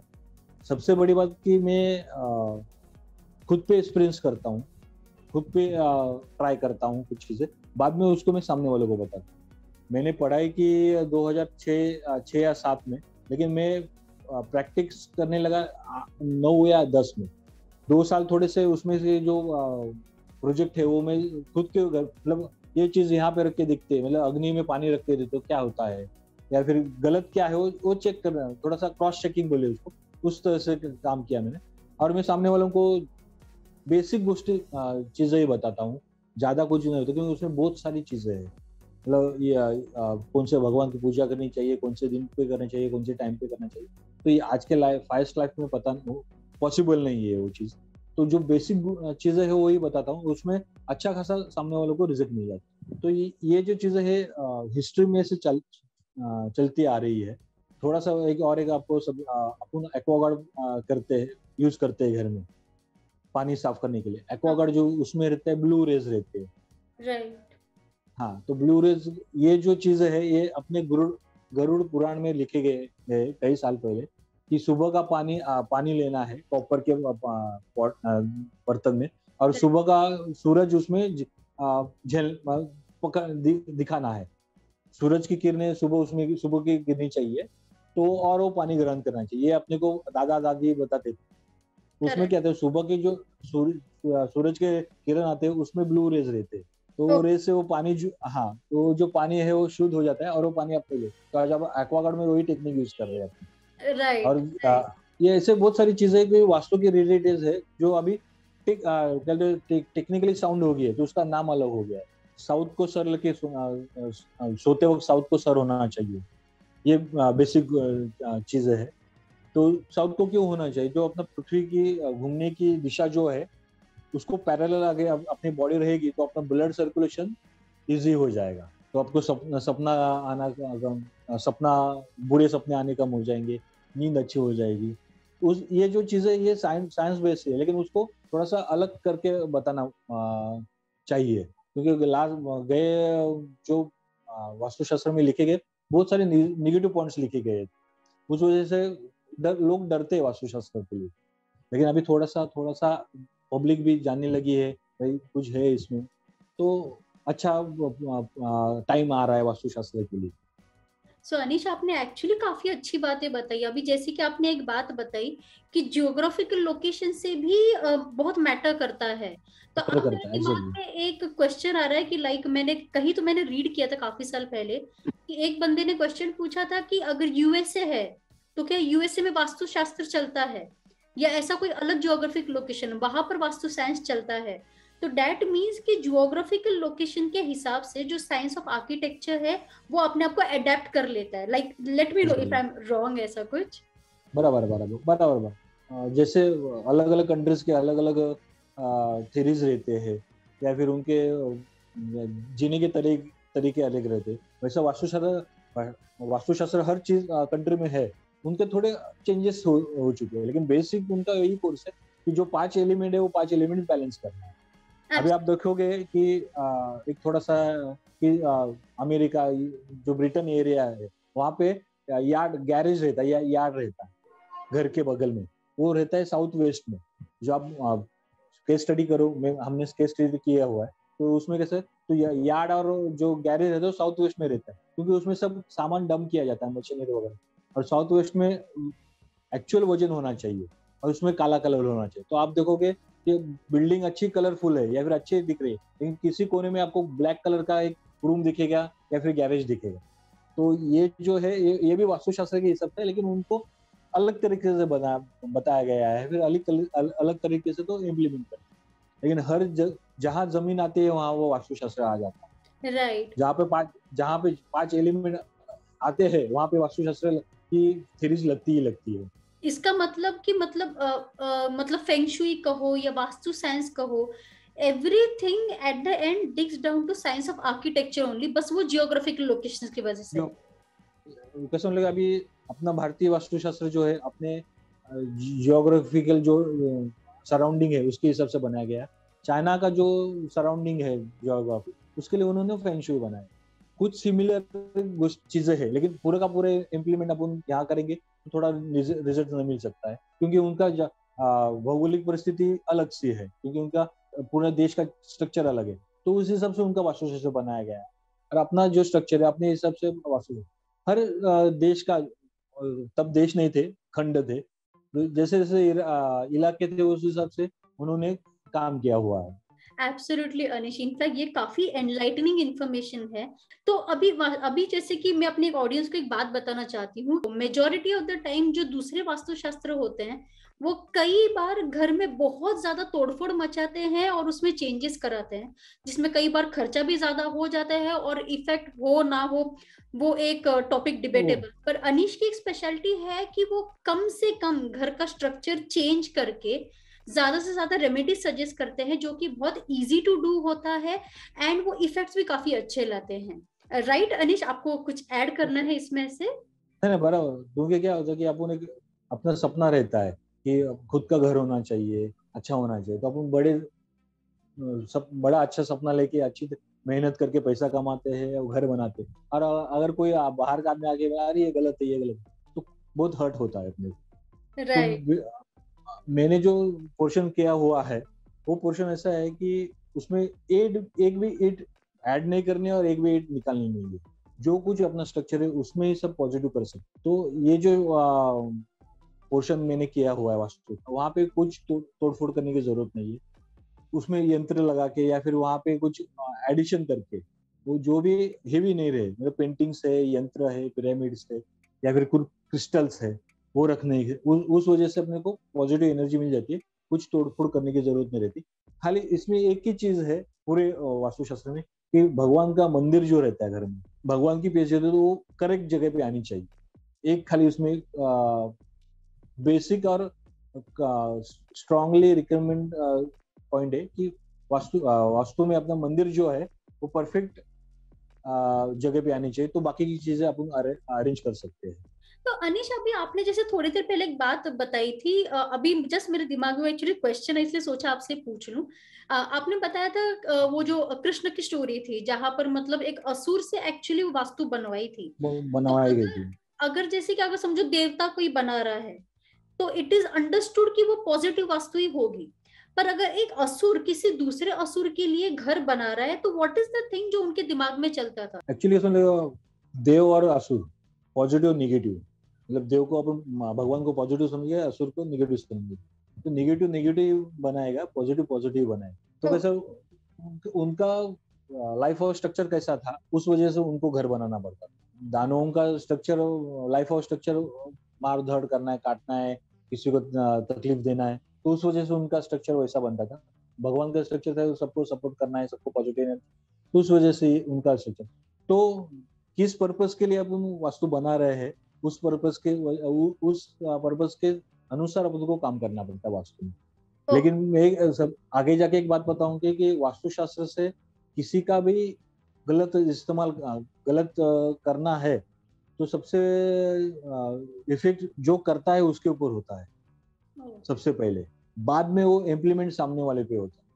तो हंड्रेड नाइनटी नाइन परसेंट लोग जो है मतलब मेरे जैसे जो कंसेप्ट वो जो चीज़ है वो सही सही होनी चाहिए, भले सामने वाला कितना भी गलत रहे।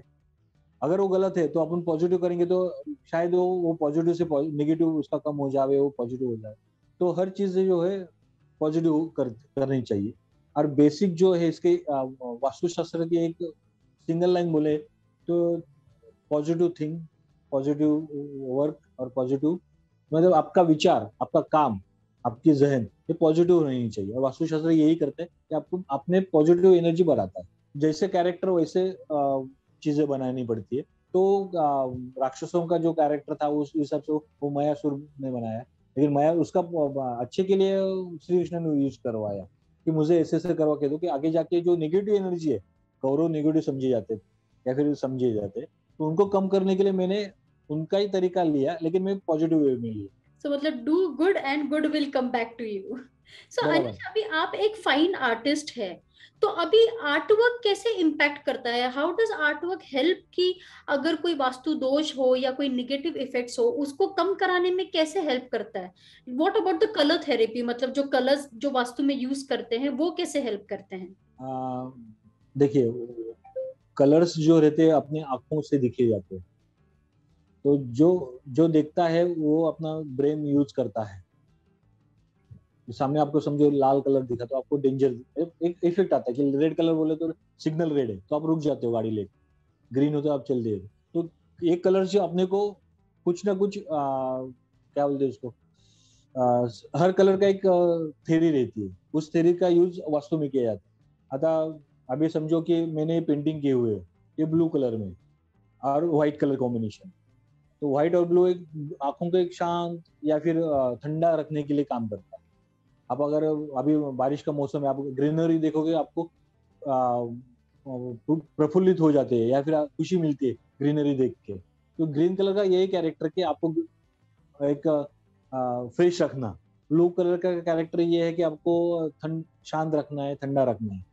रेड कलर का कैरेक्टर आपको उसको ऊर्जा देनी है या फिर आपको थोड़ा सा कहते हो बैकअप पुश करना है। तो ये रेड रेड कलर का कैरेक्टर जितने सारे कलर्स है वो हर आ, उनका काम है उनका कैरेक्टर है। ये हमको मुझे ये पेंटिंग के सब्जेक्ट में आ, कलर थेरी करके सब्जेक्ट है उसमें ये सब बताया जाता है कि रेड का मतलब क्या है ग्रीन का मतलब क्या है। तो उस तरह से अपन उस कलर को इम्प्लीमेंट करते हैं घर वास्तु में। ये समझो बीमारी के इश्यूज़ है घर में। तो बीमारी इश्यूज़ रहेंगे तो आदमी थोड़ा सा डल रहता है या फिर थोड़ा सा गुस्सेल हो जाता है। तो उसको कौन सा तो ग्रीन और ब्लू का कॉम्बिनेशन करके अगर उसके रूम में अपन कलर स्कीम करे और उसको नॉर्थ ईस्ट रीजन में रखे बीमार आदमी तो उसको थोड़ा सा पॉजिटिव व्यूज़ मिलने लगते हैं। या फिर वो थोड़ा सा पॉजिटिव थिंकिंग करने लगता है और फिर पॉजिटिव थिंकिंग जहाँ चालू हो जाती है, वहाँ पे कॉन्फिडेंस आ जाता है। और कॉन्फिडेंस आ जाए तो बाकी के काम सरल सरल तरीके से हो जाते हैं। तो कलर का बहुत सारा इफ़ेक्ट जैसे कि एक थोड़ा सा आपको बताऊँगे कि दादा दादी या थी, जो प्रेग्नेंट वुमन थी, उनको बोलते कि आप सामने भगवान का, राम का तस्वीर रखो, शंकर का तस्वीर रखो, भगवान का तस्वीर रखो, जो आपको पसंद है उनकी। तो ये क्या था, जो थेरी है, आँखों से ब्रेन तक जाने की, और वो ब्रेन से बोलते थॉट प्रोसेस में। तो यही टेक्निक कलर्स की है जो कलर देखेंगे वो आप, आपके ब्रेन को इफ़ेक्ट करेगा और ब्रेन आपको थॉट प्रोसेस में उसका यूज़ करेगा। तो कलर थेरी है वास्तव में बहुत ही इफ़ेक्टिव है। तो मोस्टली मैं रेमेडीज करवाता हूँ वहाँ जो बेसिक रेमेडीज है। और बाद में उनके लिए अगर वो इंटरेस्टेड है, क्योंकि थोड़ा सा ये पेंटिंग पोर्शन जो है या फिर म्यूरल पोर्शन है, थोड़ा सा कॉस्टली जाता है। तो अगर उनको इंटरेस्टेड है तो उसमें एडिशन कर सकते हैं। हाँ कुछ कुछ घरों में ऐसे लगते हैं, आप वास्तु का यंत्र वगैरह सब किया हुआ है। लेकिन वो किसी को पता नहीं चलना चाहिए या फिर किसी को दिखना नहीं चाहिए। उसकी वजह से ये आर्ट वर्क किए जाते हैं कि वो छुपाए जाए। Oh okay. हाँ तो वो वो आर्ट वर्क करते वक्त ये भी ध्यान देना पड़ता है कि वो आर्ट वर्क उस रीजन में बना हुआ है कि नहीं कि उस डायरेक्शन के लिए है कि नहीं। तो ये सब चीज़ें चलती रहती है और आर्ट का अच्छा से अच्छा मतलब अगर वास्तव में कुछ दोष नहीं हो, होता है तो भी आप एक आध आर्ट पीस आपके घर में रखोगे तो पूरा एटमोस्फेयर चेंज हो जाता है। आर्ट का थोड़ा इफ़ेक्ट अच्छा रहता है सबकी जन्म में जिन जिनका मानना वास्तु में है या ना हो। लेकिन एक आर्ट देखने के बाद उनके प्लेजेंट माइंड या फिर उनको अच्छा लगने लगता है। तो अपना अपना मोटो क्या कि सामने वाले को खुश करना है या फिर शांत करना है। तो ये आर्ट भी करते हैं और वास्तुशास्त्र भी करते हैं। तो ज्योतिष शास्त्र जो है क्या वो भी वास्तु साइंस से कनेक्टेड है? आ, नहीं। ये कनेक्टेड नहीं है। कि ज्योतिष जो रहता है वो आपकी ग्रह दशा कुंडली देख के आपको भविष्य बताया जाता है या फिर ज्योतिष बताया जाता है। तो ज्योतिष शास्त्र में वास्तु शास्त्र का एक ही सेंटेंस रहता है आपकी जो जन्म कुंडली है वास्तु योग करके। आपके अगर कुंडली में वास्तु योग लिखा है तो ही आपकी खुद की वास्तु हो सकती है। या अगर उसमें वास्तु दोष लिखा होगा तो आपकी वास्तु खुद की नहीं होगी आप कितने भी ट्राई करें या आप कितना भी स्ट्रगल करें। तो खाली वास्तु शास्त्र और ज्योतिष शास्त्र इसमें एक ही कनेक्शन है कि आपके नसीब नसीब नहीं बोलते कुंडली बोलते. हैं कुंडली में वास्तु है कि नहीं? बस इतना है. बाकी दोनों डिफरेंट है. दोनों में कुछ पैरेलल नहीं चल रहा. तो अब जैसे आपने काफ़ी रेमेडीज के बारे में बताया जैसे कि पिरामिड हो गया क्रिस्टल हो गया. मैंने और भी कुछ सुना है जैसे कि कॉपर प्लेट हो गया या स्वस्तिक हो हाँ, गया. तो ये किस तरीके से काम करते हैं? लाइक वो वास्तु में कैसे हेल्प करते हैं? वास्तु दोष क्लियर करने में कैसे हेल्प करते हैं? वास्तु का एक सेंटेंस क्या थिंक पॉजिटिव ये चीज़ें आपको पॉजिटिव सोचने को मजबूर करती है। समझो ये आपके घर में कुछ अपने घर में कुछ प्रॉब्लम है। और प्रॉब्लम सॉल्व करने के लिए आ, आ, आपको किसी ने एक चीज़ दी है कि ये चीज़ रखो आपको आपके पास आपका जो कुछ प्रॉब्लम है वो सॉल्व होने को मदद हो जाएगी। तो सबसे पहला थॉट आपने क्या मन में क्या आया कि ये चीज़ मेरा प्रॉब्लम सॉल्व करेगी? ये पॉजिटिव हो गया थिंक तो बाद में जब जब जैसे जैसे उस चीज़ के देखेंगे या फिर उस चीज़ को देखेंगे अपना पॉजिटिव लेवल बढ़ते जाएगा कॉन्फिडेंस लेवल बढ़ जाएगा। तो ये जो चीज़ें है, जो यंत्र लगाना है या फिर पिरामिड लगाना है तो ये वहाँ के जो दोष है, उसको निकालने के लिए लगाते हैं और वो जब उनको आप बोलते कि दिन में एक बार धूप बत्ती करना है, जैसे अपन उसको देखते हैं तो अपना एक सबकॉन्शियस रहता है माइंड उसमें काम चलते रहा ये अपन किस चीज़ के लिए किया था? अरे हाँ आपने वो ये तकलीफ़ किस लिए? ये तकलीफ़ क्यों थी? इस वजह से थी। तो ये ये वो चीज़ अपनी करनी नहीं है। ये पॉजिटिव थिंकिंग इस वजह से होती है और वो काम करते हैं। और बेसिक कैसे कॉपर जो है, ये साइंस में बड़ा हुआ है अपने। कॉपर ये इलेक्ट्रिक क्या एनर्जी सप्लायर है। कॉपर से एनर्जी यहाँ से वहाँ ले जा सकते हैं या फिर एनर्जी दे सकते हैं। इसीलिए कॉपर या फिर मेटल की चीज़ मेटल की चीज़ें वहाँ पे लगाई जाती है। ये सब पूरा टोटली साइंस है कि रेमेडीज करना है। अभी रेमेडीज में कॉपर क्यों यूज़ किया जाए? तो कॉपर में एनर्जी रहती है। एनर्जी सर्कुलर करती है। उसके बाद क्रिस्टल क्रिस्टल भी एनर्जी ग्रोथ करते हैं। उनका जैसे जैसे डिफेक्ट्स रहेंगे या फिर जैसे दोष रहेंगे उस चीज़ जैसे अपन क्रिस्टल और वो देते हैं। और उसके साथ में अपन एक छोटा सा उनको आ, भगवान का कुछ करने के लिए बताते हैं। मतलब पूजा करना है या जप करना है वो बताते तो ये दोनों उनको पॉजिटिव थिंकिंग करने के लिए सपोर्ट करते हैं। और इस वजह से वो आ, काम करने लगते हैं। और सबसे बड़ी बात कि ये जो चीज़ें है शायद कोई किसी ये बात बताएगा नहीं किसी को। या फिर जो प्रोफेशनली वास्तु कंसल्टेंट है या फिर ज्योतिष करते हैं वो लोग बताए कि अपना साइंस जो है साइंस बेस है अपना फिलोसॉफी पे। एक एक फिलोसॉफी थॉट आया उसके बाद में उसमें साइंस में इम्प्लीमेंट किया गया है। तो फिलोसॉफी जो है वो और साइंस ये एक इकट्ठा चलती है। जो चीज़ें आपको बताई जाती है या फिर बताई दी जाती है तो उसमें एक पीछे का थॉट रहता है वो आपको समझाएगा। तो ये चीज़ इसके लिए दिए हुए तो ये फिलोसॉफी थॉट करते करते वो साइंस में कन्वर्ट हो जाता है और साइंस काम करने लगता है। और ये जो ज्योतिष शास्त्र है न्यूमरोलॉजी है या वास्तुशास्त्र है ये आ, मेरे ख्याल से मेरे ख्याल से साइकोलॉजिकल बेस है। इसको सबको साइकोलॉजी बेस अगर आपको आपके माँ पे अपने माँ बाप पे विश्वास रहता है अपने माँ बाप कभी गलत नहीं करेंगे। कुछ कुछ भी चीज़ अपने से गलत नहीं करेंगे या फिर नहीं करेंगे। तो आपका वो जहन में बैठ जाता है कि मेरे माँ बाप है वो भगवान है वो कभी गलत नहीं करते। वैसे ये चीज़ है कि जो आपको दी गई चीज़ें पॉजिटिव है और ये कभी गलत नहीं होगा। तो ये थिंकिंग थॉट जो है ये प्रोसेस करने में ये चीज़ें काम करती है। तो आ, हर साइंस काम करता है उसके तरीके अलग अलग रहते हैं। उसके क्या बोलते हैं इम्प्लीमेंट होने के टाइम पीरियड कम ज़्यादा हो सकते हैं। ये थॉट प्रोसेस इसमें रहता है। लेकिन ये पूरा का पूरा साइंस बेस ही है। Right right Anisha and in fact आपकी बातें सुनकर मुझे ऐसे कुछ और कॉन्सेप्ट्स याद आ रहे like something called as visualisation या एफर्मेशन राइटिंग जिसे कहते हैं and also law of attraction and in fact इन तीनों चीज़ों के ऊपर भी ऑडियंस के कुछ क्वेश्चंस आए हैं, जो कि मैं आगे जाके आपसे पूछूँगी। सो so, अभी के लिए like we'll continue with our Vastushastra discussion तो अब जैसे कि आपने कहा कि मतलब हर एक चीज़ पॉजिटिव थिंकिंग के ऊपर है। तो ये जो वास्तु साइंस है क्या एक लेडी के लिए एक जेंट्स के लिए बच्चों के लिए डिफरेंट होता है? Is it like different it works different Newton का लॉ सबके लिए सेम ही है।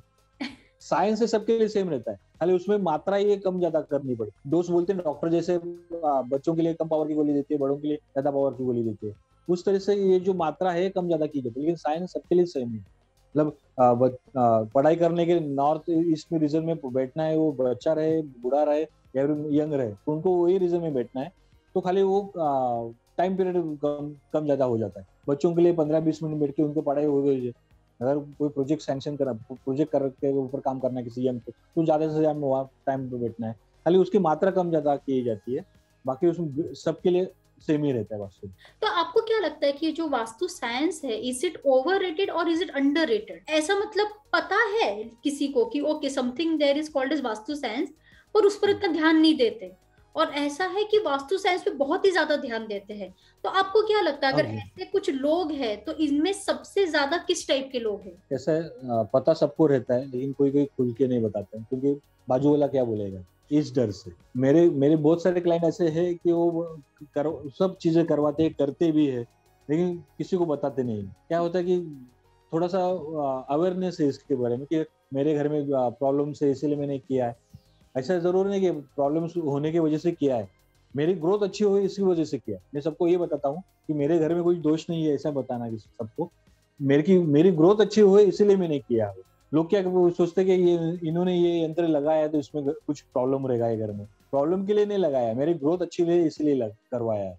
ऐसा एक्चुअली यही धारणा रहती है लेकिन लोग अलग वे से सोचते हैं या देखते हैं बहुत कम आ, कम लोग हैं जो इसके आ, पीछे पड़े रहते हैं कि चौबीसों घंटे वही करना है वही करना है। या फिर कुछ लोग बेसिक ये चीज़ें करके ना जहन में से निकाल लेनी चाहिए। अगर आप वो हर बार याद करोगे तो आपका पॉजिटिव एनर्जी कम हो जाएगा निगेटिव एनर्जी बढ़ती रहेगी। तो हम लोग क्या बोलते हैं ये किया हुआ है इसके ऊपर आप ध्यान मत दीजिए। आपका घर अच्छा मतलब अभी पॉजिटिव किया हुआ है आपका घर अभी अच्छा रहेगा। तो उनको पॉजिटिव थिंक अगर अगर आ, कुछ प्रॉब्लम बताया घर में कि आपके घर में ये है तो उनके जहन में वही घूमते रहते हैं फिर वो दूसरी जगह काम नहीं कर पाते या फिर दूसरे सोच नहीं पाते।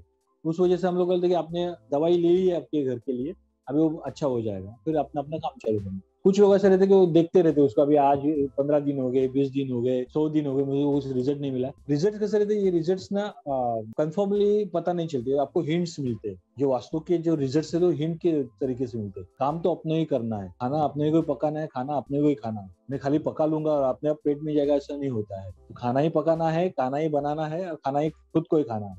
तो ये चीज़ें है, करने के बाद उसको ध्यान में से निकाल देना है और अपने को जो पॉजिटिव बताए वो करना तो ये जो थिंकिंग ये पॉजिटिव और वर्क करती है, उसके पीछे हाथ धोड़ के पड़ेगा तो थोड़ा सा निगेटिव बढ़ने लगता है। अभी तक नहीं हुआ है, मैंने ये किया था। तो ये जो हिंट है, वो खुद को पति, पता होना चाहिए, बोलते ना, संधि सगळ्यांना मिळते हो तो संधि संधीचं सोनं केलं पाहिजे अवसर सबको मिलता है, लेकिन उसका फ़ायदा उठाना चाहिए। ये ये खुद का डिसीज़न रहता है। तो वास्तु करने से आपका लाइफ मतलब रातों रात उठ के आपको लॉटरी लगेगी, आपको ऐसा कुछ नहीं होता है।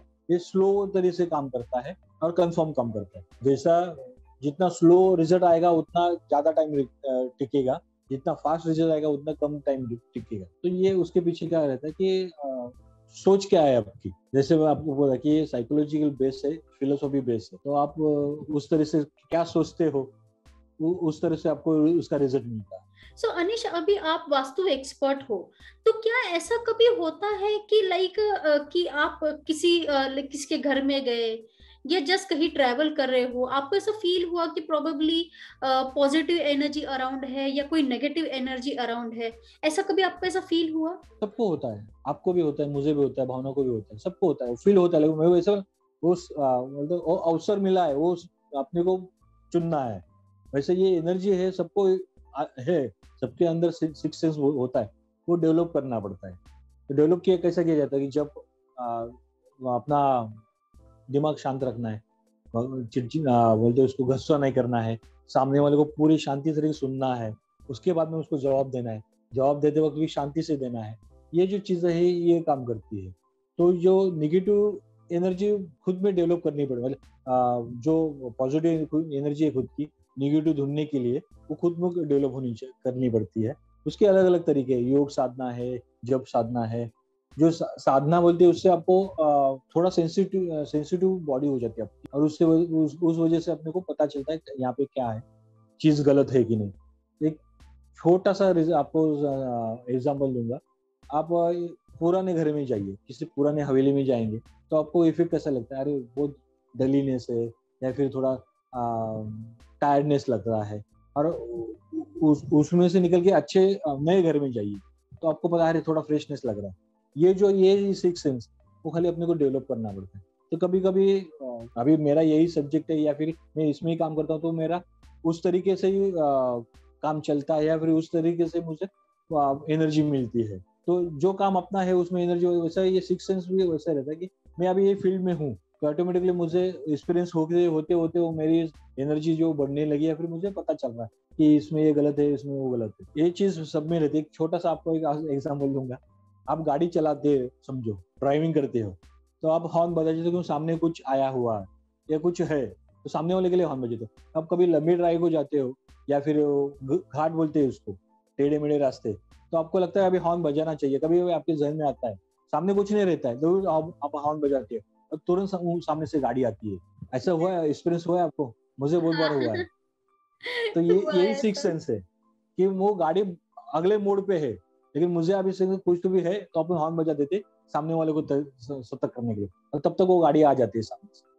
तो यही सिक्स सेंस है ये आपको डेवलप करना है। सो so, अनिश अभी आप एक फाइन आर्टिस्ट हो आप एक वास्तु साइंस एक्सपर्ट भी हो तो अपने आप को आपकी लाइफ में ग्रो करने के लिए कंटिन्यू करने के लिए आप क्या करते हो? सिंगल लाइन पॉजिटिव थिंकिंग हर चीज़ में पॉजिटिव ढूंढना ये मेरा काम है। कभी कभी ज़्यादा ओवर एक्साइटेड हो जाता हूँ उसमें। या फिर कभी कभी छोड़ ही देता हूँ, अरे कुछ नहीं मिल रहा है। नहीं, सुन, अभी मुझे बीच में मेरा छोटा सा एक्सीडेंट हो रहा था। तो एक्सीडेंट होने को सब लोग डर गए। मैं पूरा भारत, जैसे आपको मालूम है ट्रैवलिंग का शौकीन हूँ बाइक बाइकर हूँ मैं। मैं पूरा भारत लगभग घूम चुका हूँ बाइक पे। और मेरे घर के बगल में मैं गिरा और मेरा एक्सीडेंट हो गया। तो सब लोग हंसने लगे, अरे क्या इतना घूम के आया, उधर नहीं गिरा, अभी इधर गिरा। तो गिरने के बाद एक्सीडेंट होने में कुछ नहीं हुआ, कुछ इफ़ेक्ट नहीं। खाली मेरे हाथ को इंजरी हुई, बाकी गाड़ी को कुछ नहीं हुआ ज़्यादा मेजर सामने वाले को कुछ नहीं हुआ। तो मैंने पॉजिटिव उसमें क्या यार मेरे को कम लगा। ये मैंने पॉजिटिव लिया। मेरा एक्सीडेंट हो गया सोचता था तो सोचने में बैठा था तो मेरे उसमें ही सब ध्यान दिया जाता तो मेरे कुछ नहीं लगा। गाड़ी को कुछ तकलीफ़ नहीं हुई। सामने वाले को कुछ नुकसान नहीं हुआ।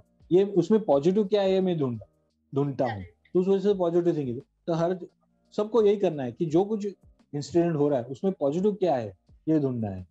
अभी ये कोरोना इसमें ये पैंडेमिक में बहुत सारे निगेटिव थॉट आने लगते हैं। उसमें भी पॉजिटिव अभी आप घर में कोई पेशेंट एडमिट है तो उसमें क्या पॉजिटिव मिल रहा है कि वो डॉक्टर अच्छा मिल मिल रहा है? या फिर मेरे को सर्विस जो मिल रही है, वो अच्छी मिल रही है?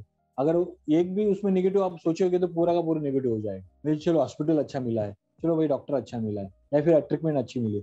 अच्छी मिली ये चीज़ जब आप बोलते हो खुद के मन में तो आप में ऑटोमेटिकली पॉजिटिव एनर्जी आ जाती है और उस तरीके से आपको रिज़ल्ट मिलने चालू हो जाता है। आर्ट और वास्तुशास्त्र इकट्ठा करने का मेरा रीजन यही था। कारण यही था कि दोनों को पैरेलली चलना है और ये अच्छे तरीके से सामने वालों को बेनिफिट मिले।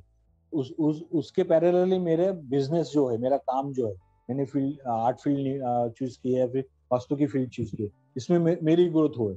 इस वजह से क्या होता है कि जहाँ पे रेमेडीज करने की ज़रूरत है वहाँ पे रेमेडीज किए जाते हैं जहाँ पे एडिशन आर्ट वर्क करने की ज़रूरत है, वहाँ पे आर्ट वर्क ही किया जाता है।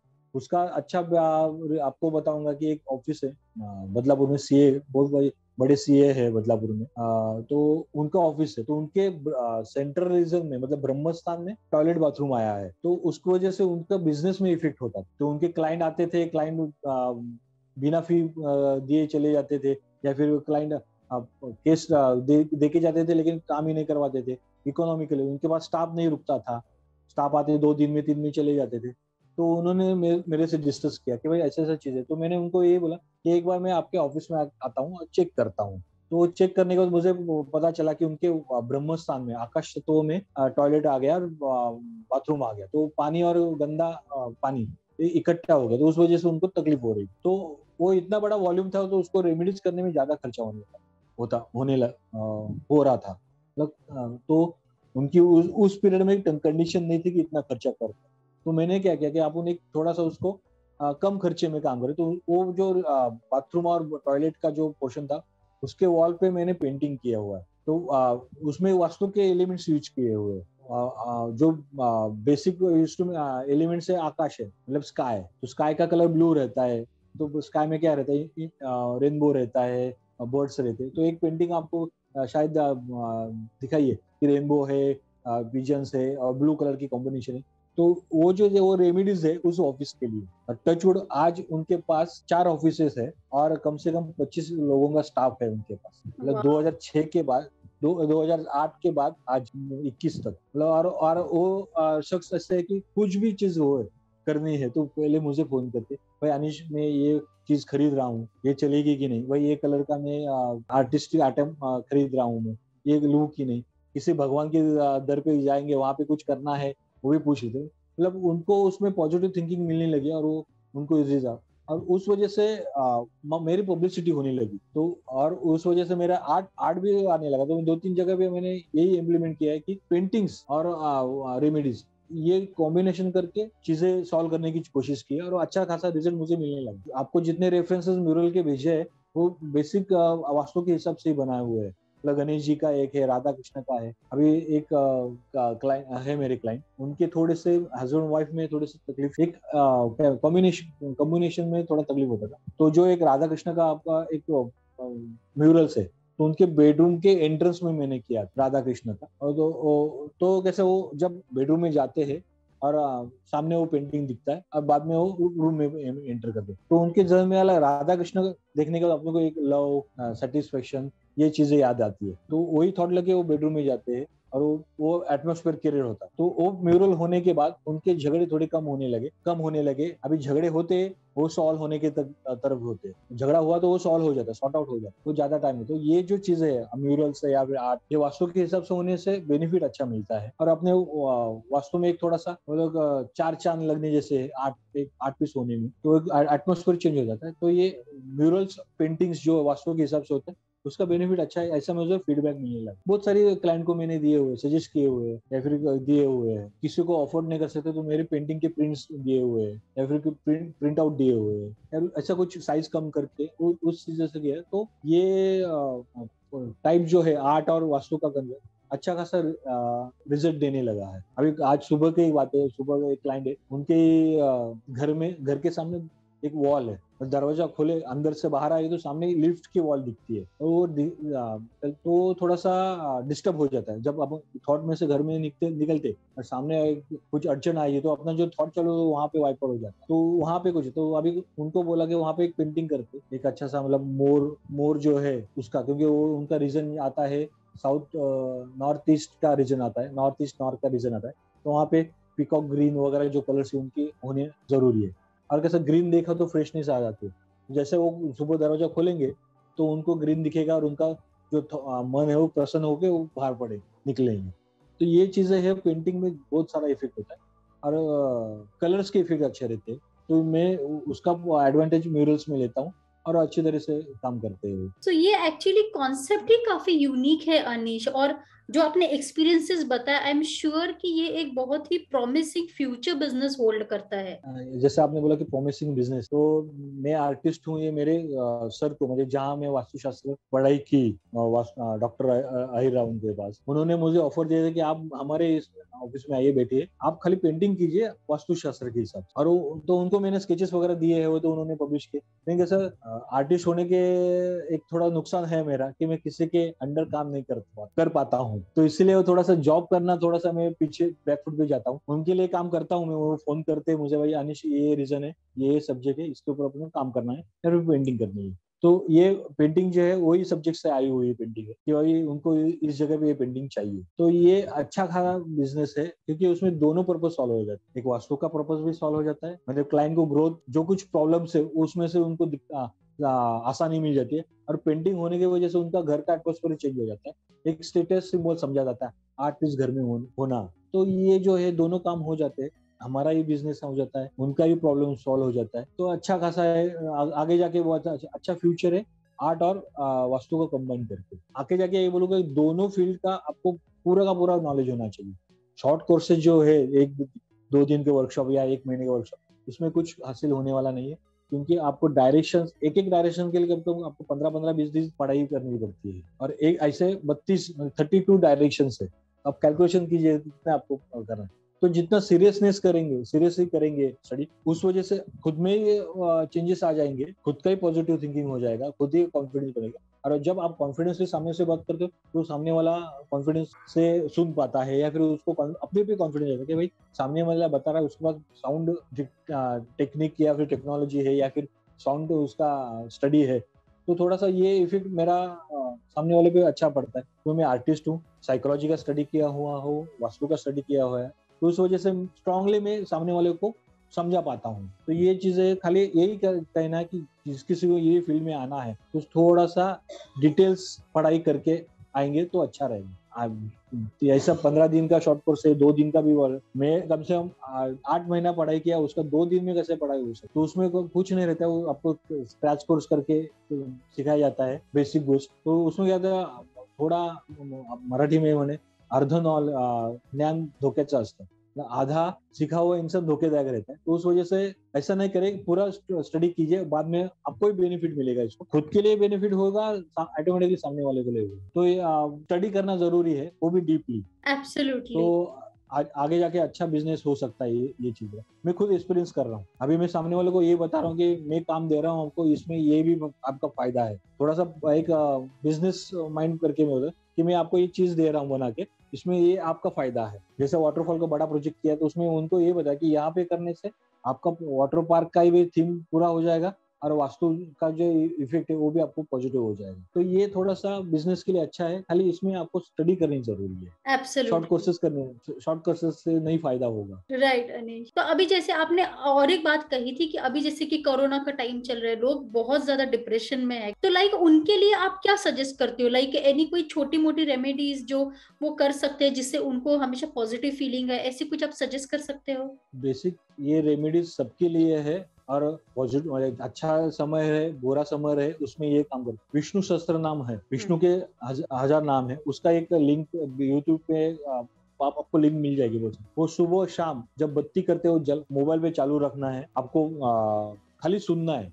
एक एक तीस मिनट का कुछ है वो विष्णु सहस्त्र अगर आप वो सुनोगे ना तो आप में थोड़ा पॉजिटिव एनर्जी चालू हो जाएगी। और ऑटोमेटिकली आपको जब उसकी आदत पड़ जाएगी तो आप अपने आप वो गुनगुना चालू गुनगुना चालू हो जाएँगे बोलना चालू हो जाएगा। फिर ऑटोमेटिकली आपको याद रहने लगेगा। और जब भी, भी आप शांत बैठेगा तो आपके दिमाग में वही घूमेगा और उस वजह से आपका काम सही रहेगा। तो विष्णु सहस्त्र में सबसे जालिम रामबाण बोलते हैं उसको उपाय है हर हर चीज़ के लिए। दोष है नहीं है पॉजिटिव है निगेटिव है। तो विष्णु नाम जो है वो बोलते उसको एवरग्रीन दवाई है उसके लिए रेमेडीज है। तो विष्णु सहस्त्र नाम होने से अच्छा खासा मुझे भी बेनिफिट मिलता है। कभी भी मैं भी काम में डिप्रेस हो जाता हूँ या फिर मेरे को जो रिज़ल्ट चाहिए काम में से वो नहीं मिल रहा है। मैं थोड़ा सा बैठ थोड़ा नाराज़ हो जाता हूँ। तो मैं यही चीज़ करता हूँ विष्णु सहस्राम लगाता हूँ। सुनता हूँ एक आधा घंटा बाद में काम पे लगा आपको याद रहेगा भावना बोलती है कि मैं सोती हूँ आधा घंटा और काम करती है। वही चीज़ है वो सो, सोते सोने से उसको रिलैक्सेशन हो जाता है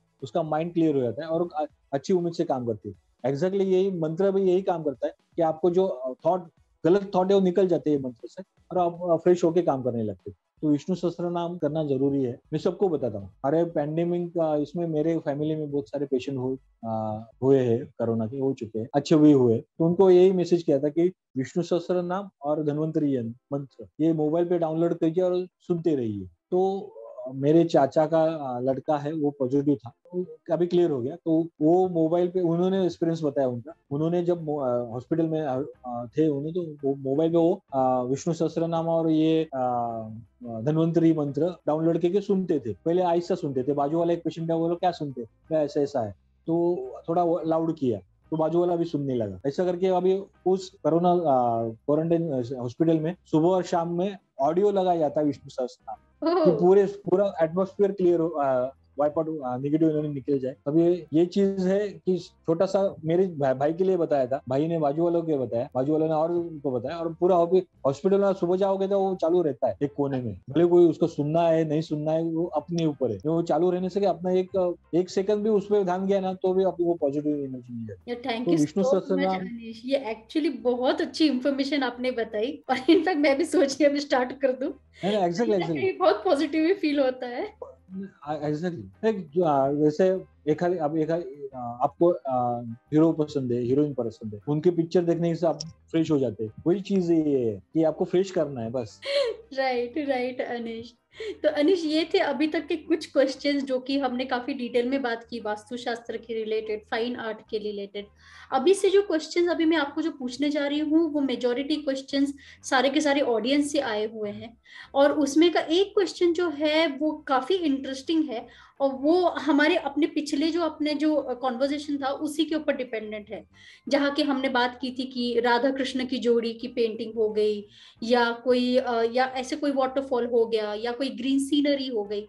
सो so, कहा जाता है माना जाता है that this particular thing attract success luck money prosperity तो मैं जानना चाहूँगी कि आपके व्यूज़ इस पर क्या है? पर ये आज नहीं, अपने पार्ट वन में नहीं, हम इस पर बात करेंगे पार्ट टू में। So to all my viewers stay tune अभी तक की हमारी जितने भी कॉन्वर्जेशन हुए, ये बहुत ज़्यादा इंटरेस्टिंग थे। मेरे लिए खास तौर से बहुत एनलाइटिंग भी थे। आई एम श्योर कि आपको भी सेम फील हो रहा होगा। So stay tune for my part two and meanwhile do not forget do not hesitate to show your love and support by hitting like, share and comment और in case अगर आप मेरे चैनल पे new है Do check out all my vlogs and subscribe to my channel and hit the notification bell icon ताकि जैसे part two भी publish हो जाएगा आप इमीडिएटली नोटिफाइड हो जाएँगे। So Anish thanks a lot for all your information that you provided बहुत ही वैल्यूबल इंफॉर्मेशन थे। हमारा कॉन्वर्जेशन कंटिन्यू होगा पार्ट टू के लिए। So we'll stay connected